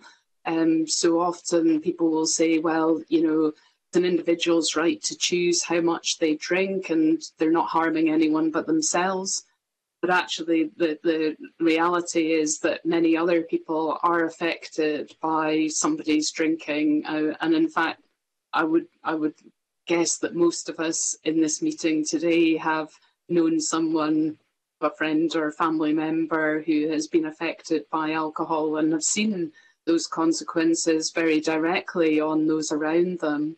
Um, so it's not just the drinker who who suffers; um, it is family and friends uh, too, and and therefore, uh, and too often those people around them have been neglected. Um, so I think it's extremely welcome that we recognise that there are those wider impacts, but also that those people are really important in supporting the recovery of the, the person with the alcohol problem. Um, that unless somebody has support around them, they're um, the, potential for them to recover will be will be much uh, less. So I think it makes a great deal of sense both from uh, tackling that wider impact and harm, but also in terms of uh, enabling and supporting recovery. Thank you. Can I pick up on something that Eleanor um, mentioned in terms of the, the work that you're doing for specific demographics? You mentioned about LGBTQ uh, plus people having specific needs when it comes to to treatment. Um, I, I'm interested in, in that in, in terms of uh, a lot of people find it very difficult to even put themselves through the door for treatment. And then, of course, you've mentioned some of the barriers there for that community is there is there any work ongoing or is there any thought about in terms of other sort of cultural de demographics as well that you might have um, particularly people from from ethnic minority groups finding the same issue about um, maybe uh, not having uh, treatment services specifically dedicated towards them is that something else that has maybe come up that that's something that has come up. I mean, it's not we've not been involved in research around um, minority ethnic groups, but we are, I am aware of um, research that shows that as a group, they are vastly underrepresented when it comes to alcohol treatment and also recovery communities as well. So there is obviously something going on there for, and again, this is this can be this sort of double level of sort of stigma and shame that um, people can experience when in a minority group. So this is actually a real difficulty that I think has uh, there's a lot more work to be done try and make treatment services and recovery communities um, work better for all these um, different um, groups who are basically doubly affected. Um, so I think that is an area worth um, looking at. What I was wanting to just highlight as well is that when it comes to alcohol treatment and service, services, it is very important to see people as people and not just a person with an alcohol problem obviously um, the alcohol problem is going to be tied up with so many other issues. It could be to do with um, childhood trauma, it could be to do with um, mental health issues. When we're talking about women, it could be tied up with their relationships, could be tied up with housing, or so alcohol problems could be the cause of some of these other issues in their lives or vice versa. So I think it is really important to think of the services that people are accessing as not just about treating an alcohol problem, but actually about them being integrated with all the other services or types of support that someone could need. And for instance, there's a really positive model in Aberdeen of where there's um, a specialist alcohol services prov provided by the ADP, which links to a vast, a huge range of other services, whether it's police, housing, social work, everything. So someone gets assigned a key worker who can then work with all those services so thinking back to your pre the previous question about the impact um, the, of or the support that women may specifically need, that's the type of service that can really work if um, they are properly integrated and see the person as an individual who may need a vast range of different types of support, some of which may not necessarily be specifically about alcohol, but are related to the alcohol problem. And that's the approach that we need to see taken more commonly across the country. Thank you. It's always very helpful when people give examples uh, of, of good practice uh, that we can maybe have a further look into. We're going to move on to talking about funding and questions led by Evelyn Tweed. Evelyn? Thanks, Convener. Uh, good morning, panel, and uh, thanks for all your contributions so far. This has been a really helpful session. Um, can you tell me what are your views on the split of resources between alcohol treatment services and drug services. Do you feel the split of resources is appropriate? And could I maybe pose that to Lucy, please? Um, it's not an area, of funding is not something that I'm specifically involved in, so it's not an area that I'm terribly well versed on. I don't know if anybody else on the panel feels they would want to um, step in here. Okay, um, we'll, we'll look for volunteers then if anyone wants to come in on the funding issue in particular. Um, I'm seeing Niamh Fitzgerald is nodding. So you give me the slightest inkling and then I'm going to single you out. Niamh. So actually, I think Elinor and Alison have, have put a little R in the chat on this. Uh, I, I'm at my chat box. So, so, so why do I come to Elinor? Sorry, I wasn't doing my job there because I wasn't looking at my, my screen. Elinor. Um, well, I think it's not necessarily clear what the funding split is between alcohol and drug services. Um, there's, there's various different ways of looking at it. So there's the funding to ADPs, which obviously um, can then is then used for both alcohol and drug services. But then there's also service funding that the NHS, for instance, may be using separately for alcohol and drug services, and same for um, local authorities or IJBs potentially. So it's not totally um, clear what the funding split is, but in terms of resource and emphasis, I'd say that um, the Scottish Government said in its budget documents and it published towards the end of last year that it recognises that we've got twin public health emergencies of drug death and alcohol harm, but we're not necessarily seeing that um, reflected in terms of the focus and attention in terms of alcohol services. So whilst we've seen lots of progress in term, terms of um, investment and focus on the services that are provided for people who use drugs, with a particular emphasis on rehabilitation, but lots of other aspects as well, including the medically assisted treatment standards. We have not seen anything similar for alcohol. And I think what we, I mean, as I'm sure you all agree that we've seen the data, we know the data is not good for Scotland. We've seen that deaths went up in 2020 and we know that alcohol harm is a real problem for Scotland and we do need to see a bit more urgency and focus. So whether that means um, being coming up ahead of the alcohol treatment guidance that I talked about earlier that we're expecting at a UK level, whether the Scottish Government can actually do something ahead of that so that we're actually starting to make inroads and actually um, see some investment in services specifically for people with alcohol problems that's what we would that's what we would argue for. We need to see some urgency around that now. Thank you. And Alison would like to come in. To agree with what Elinor said, that it can be quite difficult to understand exactly what's going on with budgets. But we have seen this uh, very strong focus for completely legitimate reasons. I mean, the, the drug deaths are, you know, tragic and shocking, and we do need um, to to respond to that.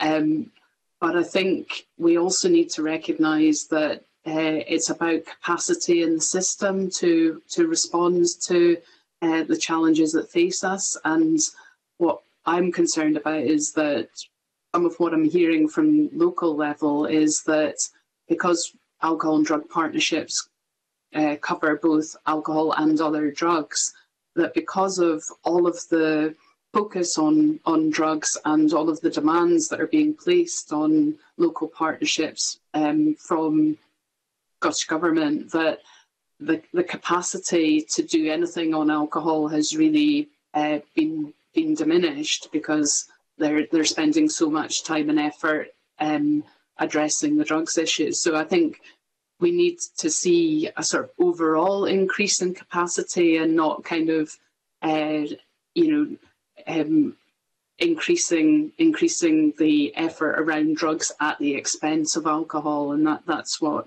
would concern me. I'm, I'm certainly hearing anecdotally from uh, public health colleagues and from alcohol and drug partnership colleagues that they, they really don't have uh, capacity to, to do much on alcohol at the moment, and that, that's really concerning when we may be facing into a period where we actually have an increased problem to deal with. Evelyn? Thanks, convener. Uh, thank you for that. And uh, How can the effectiveness of public spend on alcohol services be assessed? And I know you've touched on this in previous answers, but what information is required to allow that assessment to be made and how can we do it better? And I would like to ask Alison that, that question, please. I mean, it is really difficult because, um, as, as Eleanor sort of alluded to, uh, Scottish Government does give funding specifically to alcohol and drug partnerships, but that is not meant to be the sum total of the investment at local level in alcohol and drug services uh, and and related work. Um, I think in practice uh, there is um, uh, there have been instances where the uh, the health board will actually top slice that uh, money coming from Scottish Government for statutory NHS services, where the ADP is actually meant to make decisions across uh, as a collective about where that money should be invested. But I have to say, and I speak as somebody who used to work in Scottish Government and was responsible for um, alcohol services and that investment, it is very, very difficult to understand in detail what is going on at local level. Um, and, and therefore, I wonder whether you know it is better to kind of come at it from the other end and, and really about trying to look at the outcomes and uh, rather than where the money, rather than trying to follow the money, really look at what the, the impact is at local level and uh, to improve reporting around that. And Elinor Jayne wants to come in.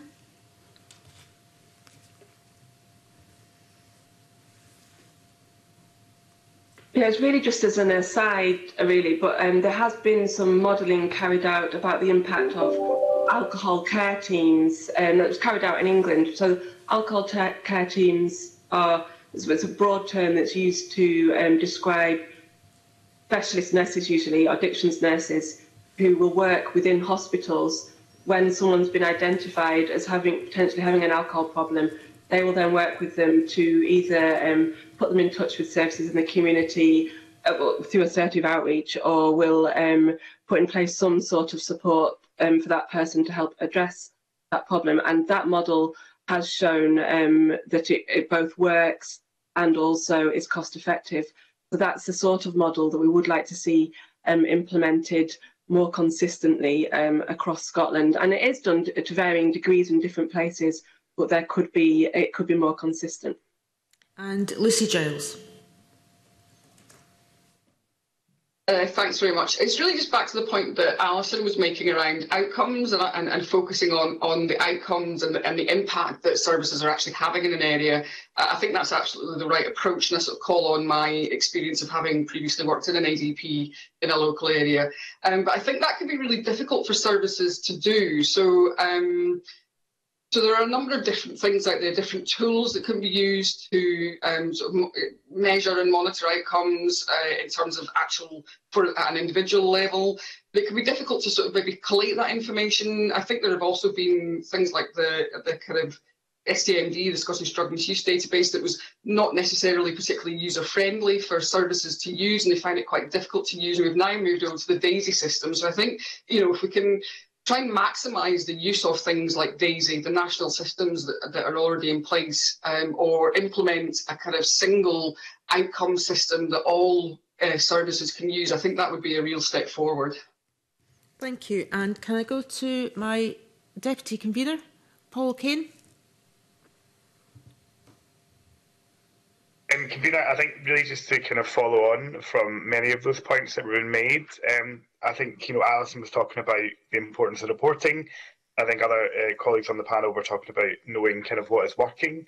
Uh, I kind of asked, I think, the minister back in September about alcohol and drug partnership reporting, um, because I think previous previously we had uh, broken down information for ADPs uh, by kind of IJB in terms of the granular spending. Uh, so that certainly happened in kind of 16, 17 and 17, 18, but obviously we haven't had that level of detail. So I suppose my question is, do we think there's enough certainty around funding um, to measure kind of the effectiveness of what, of what is working. So those things I think people referred to there. Do we have do we have that certainty going forward? When we go back to Alison, Alison, yeah, yeah, wants to kick off. Sorry, Paul, can I just ask for um, clarification? You mean certainty of what money is going in or, or how it is being spent? Yeah, I think I think certainty that there's funding there and that we're not seeing kind of gradual cuts or, or more top slicing, as I think was referred to. And then how from that can we then measure the effectiveness of spend, if you like, uh, in terms of the interventions it pays for? That makes sense. Yeah, so I mean, you have been aware that there had been um, some time back some cuts to the investment in alcohol and drug funding. Um, and we tried at that point to do a bit of work with the alcohol and drug partnerships to understand uh, what that meant in practice and how it was affecting services. And it's just really, really difficult to get a clear picture of that because um, ultimately the people who are acting as the coordinators and the, the um, the facilitators for the alcohol and drug partnerships are employed by either the health board or the local authority usually. So um, it's very difficult for them to, to necessarily be open and honest about that in, in public.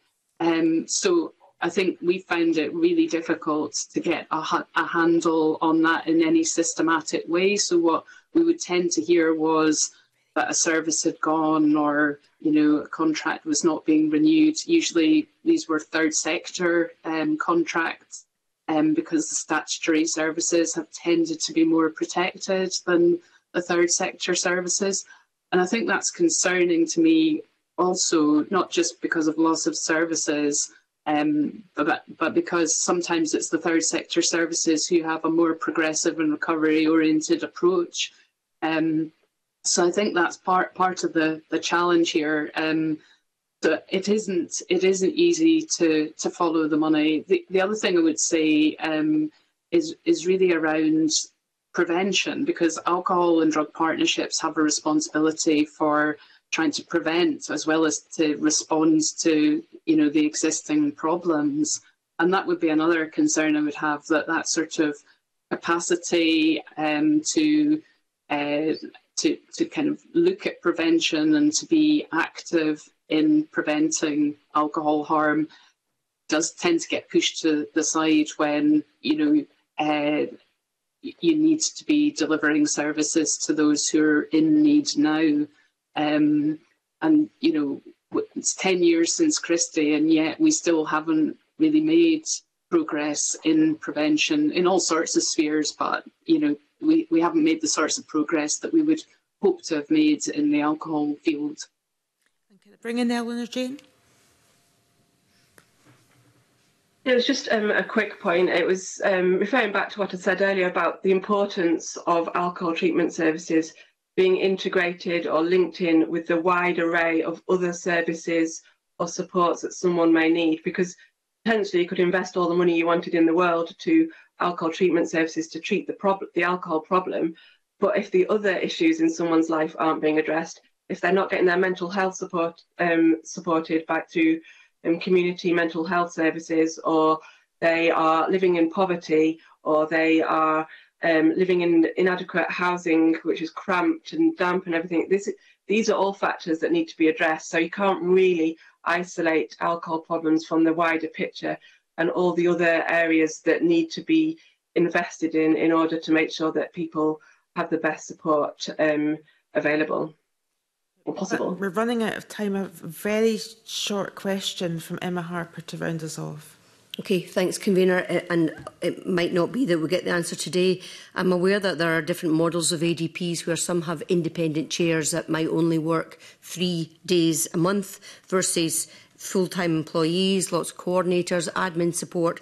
So I'm interested as whether we're looking at the best practice examples of ADPs with good outcomes so that then we can reflect that practice in other areas in Scotland. I'll, I'll, I'll hand it over to our panel for anyone that wants to come in on that or we maybe could Elna Jane. Um, well, I would just urge you to look at the Aberdeen model in Aberdeen City, which is, I think, one of, I don't know enough about all the ADPs across the country, but they, I think, are one of the few that has separate drug treat um, drug support to alcohol support, and the and the model that they've taken in terms of being as inclusive as possible and as proactive as possible and engaged with all the different services in the area I think is really positive and is something that potentially other areas could be learning from. Thank you. I want to thank all four of you for your time this morning. It's been a very, very useful session, and your, your, um, what you've told us has, has certainly given us a lot of food for thought about what we might do in the future in terms of more targeted work in this area. We're going to suspend for five minutes. Thank you.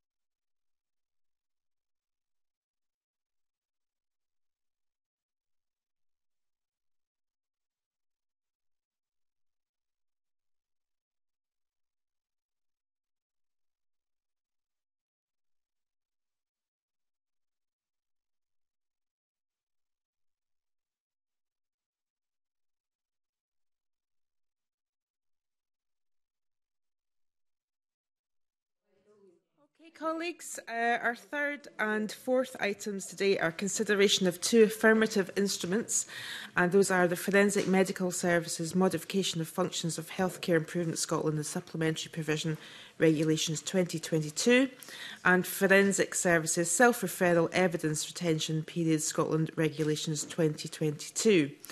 Um, we have evidence sessions with the Cabinet Secretary for Health and Social Care and officials on the instruments are all joining us remotely. Um, once we've had all our questions answered, we'll have formal debates on the motion. But I welcome to the committee Hamza Youssef, the Cabinet Secretary for Health and Social Care. Good morning, Cabinet Secretary.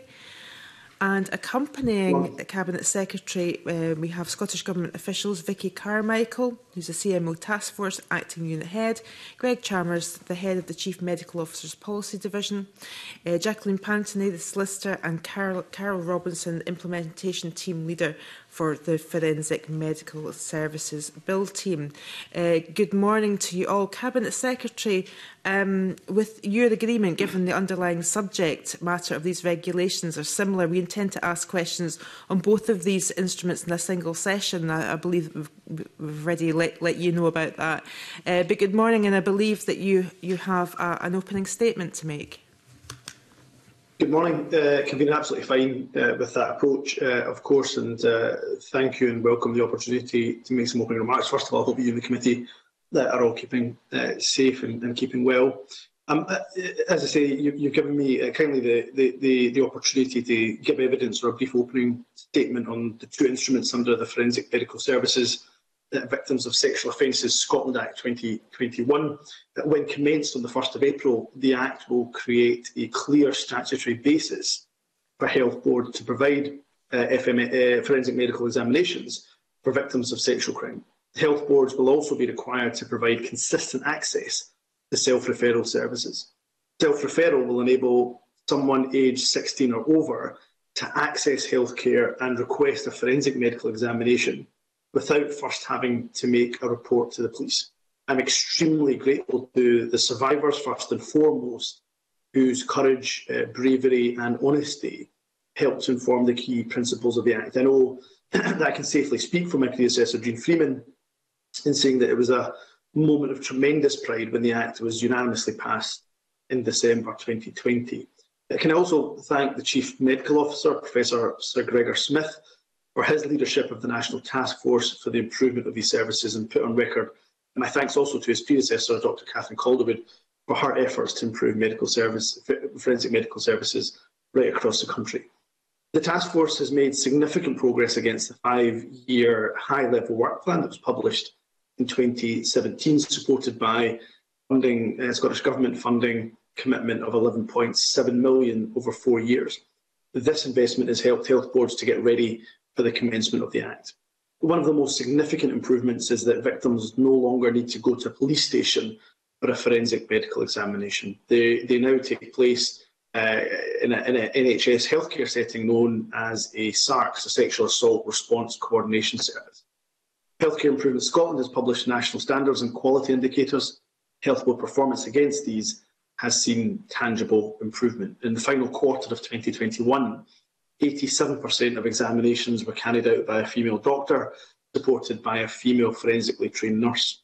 Nurse care coordinators are in poor post in every health board to help ensure the smooth pathway of onward care and support. National clinical pathways for both adults and for children uh, and young people have been published and are followed by health boards. The National Clinical IT System has been developed to ensure the consistent recording and collation of data which will go live on the 1st of April. Excuse me. Task force officials are liaising closely with health boards to ensure they are all ready to provide self-referral forensic medical services nationally from the 1st of April and have provided detailed guidance and training as well as additional funding to support implementation and readiness. If I can turn to uh, the SSIs, turning to the first instrument, Section 8, uh, subsection 1b of the Act enables Scottish ministers to set by regulation the length of time that health boards will be required to store evidence gathered during a self-referral examination. This is known as the retention period. Any evidence stored will be destroyed at the end of this period, unless, of course, the person has requested destruction of their evidence prior to that period, or has reported the matter to the police, in which case the police will request that the evidence be transferred to them. These regulations, if approved, will set the retention period, period at 26 months, time period based on the outcome of the Scottish Government public consultation and on evidence and best practice from across the UK and internationally. Just over half of the responses to the consultation agreed with this time period, which seeks to strike the right balance between ensuring that evidence is held for a reasonable timescale while taking into account the practical considerations for health boards. The second instrument makes amendments to the National Health Service at Scotland Act uh, 1978, using the powers under sections 13 and 19 of the FMS Act. This technical instrument will give HIS functions similar to those which it currently holds in relation to wider health services. Functions include a general duty of furthering the improvement in the quality of services provided under the FMS Act, and also functions of providing information to the public about the availability and quality of those services. This instrument will also extend the inspection power of HIS to any service provided under the FMS Act. This serves uh, really as a backstop power, which is only likely to be used in the event that a significant issue of continued concern has not been resolved through existing health board governance and assurance processes. But the government does consider it prudent for it and HIS, excuse me, to have these powers in reserve, uh, as is the case for other healthcare services. In summary, the CMO task force has made significant progress over the last five years, and Scottish Government officials are working very closely with health boards to ensure that they are ready for commencement of the Act. The secondary legislation is an important anchor to that work and helps to underpin continued improvements we plan to deliver with our NHS partners. And as always, Convener, of course, I'm happy to take questions. Thank you very much, Cabinet Secretary. And I'm just looking to my colleagues if we've got any questions. Emma? Thanks, Convener. Good morning, Cabinet Secretary. It's Just a quick question on the 26 months um, retention period. And I'm just going to note that our convener rightly mentioned earlier that this is to do with not um, contacting survivors on an anniversary associated with a reported um, assault. So it, it, that's part of it. But the 26 months was a, a consensus a, across the evidence that was taken for the consultation. So um, and that is something that uh, is based on um, basically the feedback from everybody that 26 months was uh, in agreement, and that's why we've got to that point today. Uh, thanks, Emma Harper, for, for those important points. She's, she's absolutely right in what she says in relation to, to why 26 months and not, for example, 24 months, which would seem like uh, the more kind of natural uh, uh, time period. But, but she's absolutely right. The reason why we avoid 12 or 24 or 36 months, for example, is because they would fall on uh, anniversaries of when that um, uh, medical examination may have had to, to happen. Uh, and therefore, of course, a very traumatic period, I can imagine, in the survivor's journey. So, so we avoid those anniversaries for, for, for good reason. That's the feedback we got from the likes of uh, Rape Crisis Scotland and, and, and others. So, so, so she's absolutely right in, in highlighting that point. In, in relation to our point about, about consensus, I think it'd be important for me to say that um, although the 26-month period was backed by uh, the majority of the consultations, just over 50%, that there wasn't consensus in the other kind of remaining, um, you know, fit of just, just over 49%. There wasn't a consensus amongst that other group around what the retention period should be. Some thought it should be shorter than 26 months, some thought longer. So, so again, it would be remiss of me not to say that the survivors reference group uh, favoured a, a, longer retention period. Uh, but we wrote to them about the 26 month period uh, and they haven't pushed back. Uh, and, and, I think they, they, they, they hopefully understands our, our, reasons for trying to balance uh, what are really important uh, factors here, which is retaining the evidence uh, for a suitably long, long enough period of time, uh, but also, of course, given the sensitivity of that data and evidence that is held, uh, making sure it's not held for a disproportionate amount of time. And the only thing uh, I would add to this is uh, where we have seen some evidence um, across the UK. Uh, so, for example, if we look at the, the, the, the, the London service, uh, known as the Havens, uh, we know that the average time between self-referral and police referral was three months. And so, of course, 26 months, you would think, therefore, it is a relatively adequate time. And looking at other UK centres, it tends to be that the average um, between uh, self-referral and police referral, for those that do go on to police referral, uh, the average is, again, around about uh, that three to six-month period. So uh, we think 26 months is, is, is, is absolutely adequate in that respect.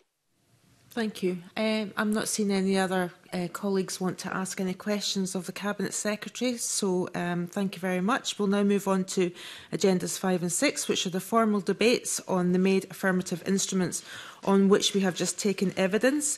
Are members content to a single debate being held covering both of the instruments together? We are agreed. Thank you. And can I remind the committee that members should not put questions to the Minister, or the Cabinet Secretary rather, during the formal debate, and officials may not speak in the debate. Cabinet Secretary, before I invite you to, to move the instruments, is there anything further you want to say in relation to motions 6, sorry, S6M03315 and S6M03316, both in your name? Nothing further to add, Convener. Thank you, Cabinet Secretary. Um, would any members like to uh, contribute to the debate? Sandesh.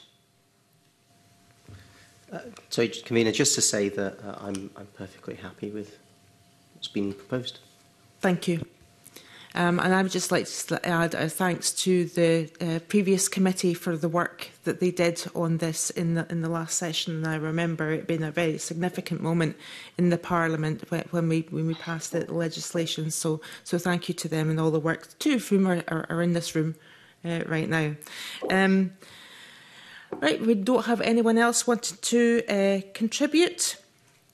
Um, I will invite the Cabinet Secretary just to, uh, to, to for housekeeping reasons, if he wants to make any any response to anything that he's just heard there. Nope, nothing nope. To, to respond to, Commissioner. Thank you.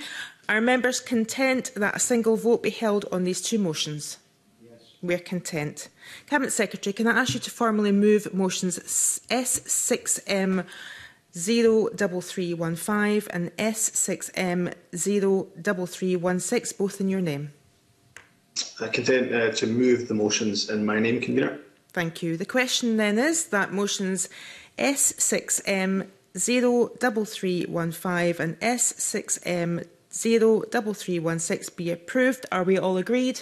agreed? We are all agreed. Thank you very much.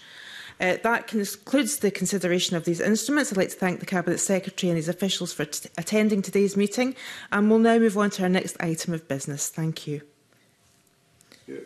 The seventh item on our agenda is consideration of a negative instrument, and that is the Personal Injuries NHS Charges Amount Scotland Amendment Regulations 2022.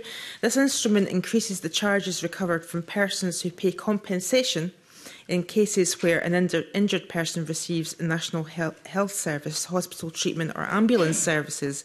The increase in charges relates to an uplift for hospital and community health service annual inflation, The Delegated Powers and Law Reform Committee considered the instrument and made no recommendations, and no motions to annul have been received in relation to this instrument.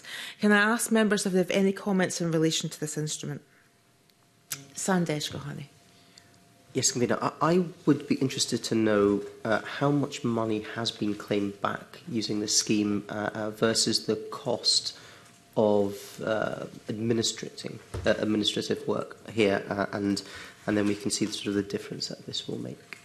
Okay, so that's a, that's a point of information that you would like to, to hear back from the government on, but not in relation to the to the uplift. Not in relation to the uplift. Okay, thank you. Any other comments that anybody would like to make? Can I therefore propose that the committee does not want to make any recommendations in relation to this negative instrument other than the point of information that Sandesh Gohani has raised. Anyone member disagree with this? No? Thank you. We'll conf uh, confirm agreement on that. At our next meeting on the 8th of March, the committee will begin taking evidence as part of our inquiry into alternative pathways to primary care. And that concludes the public part of our meeting today. Thank you all.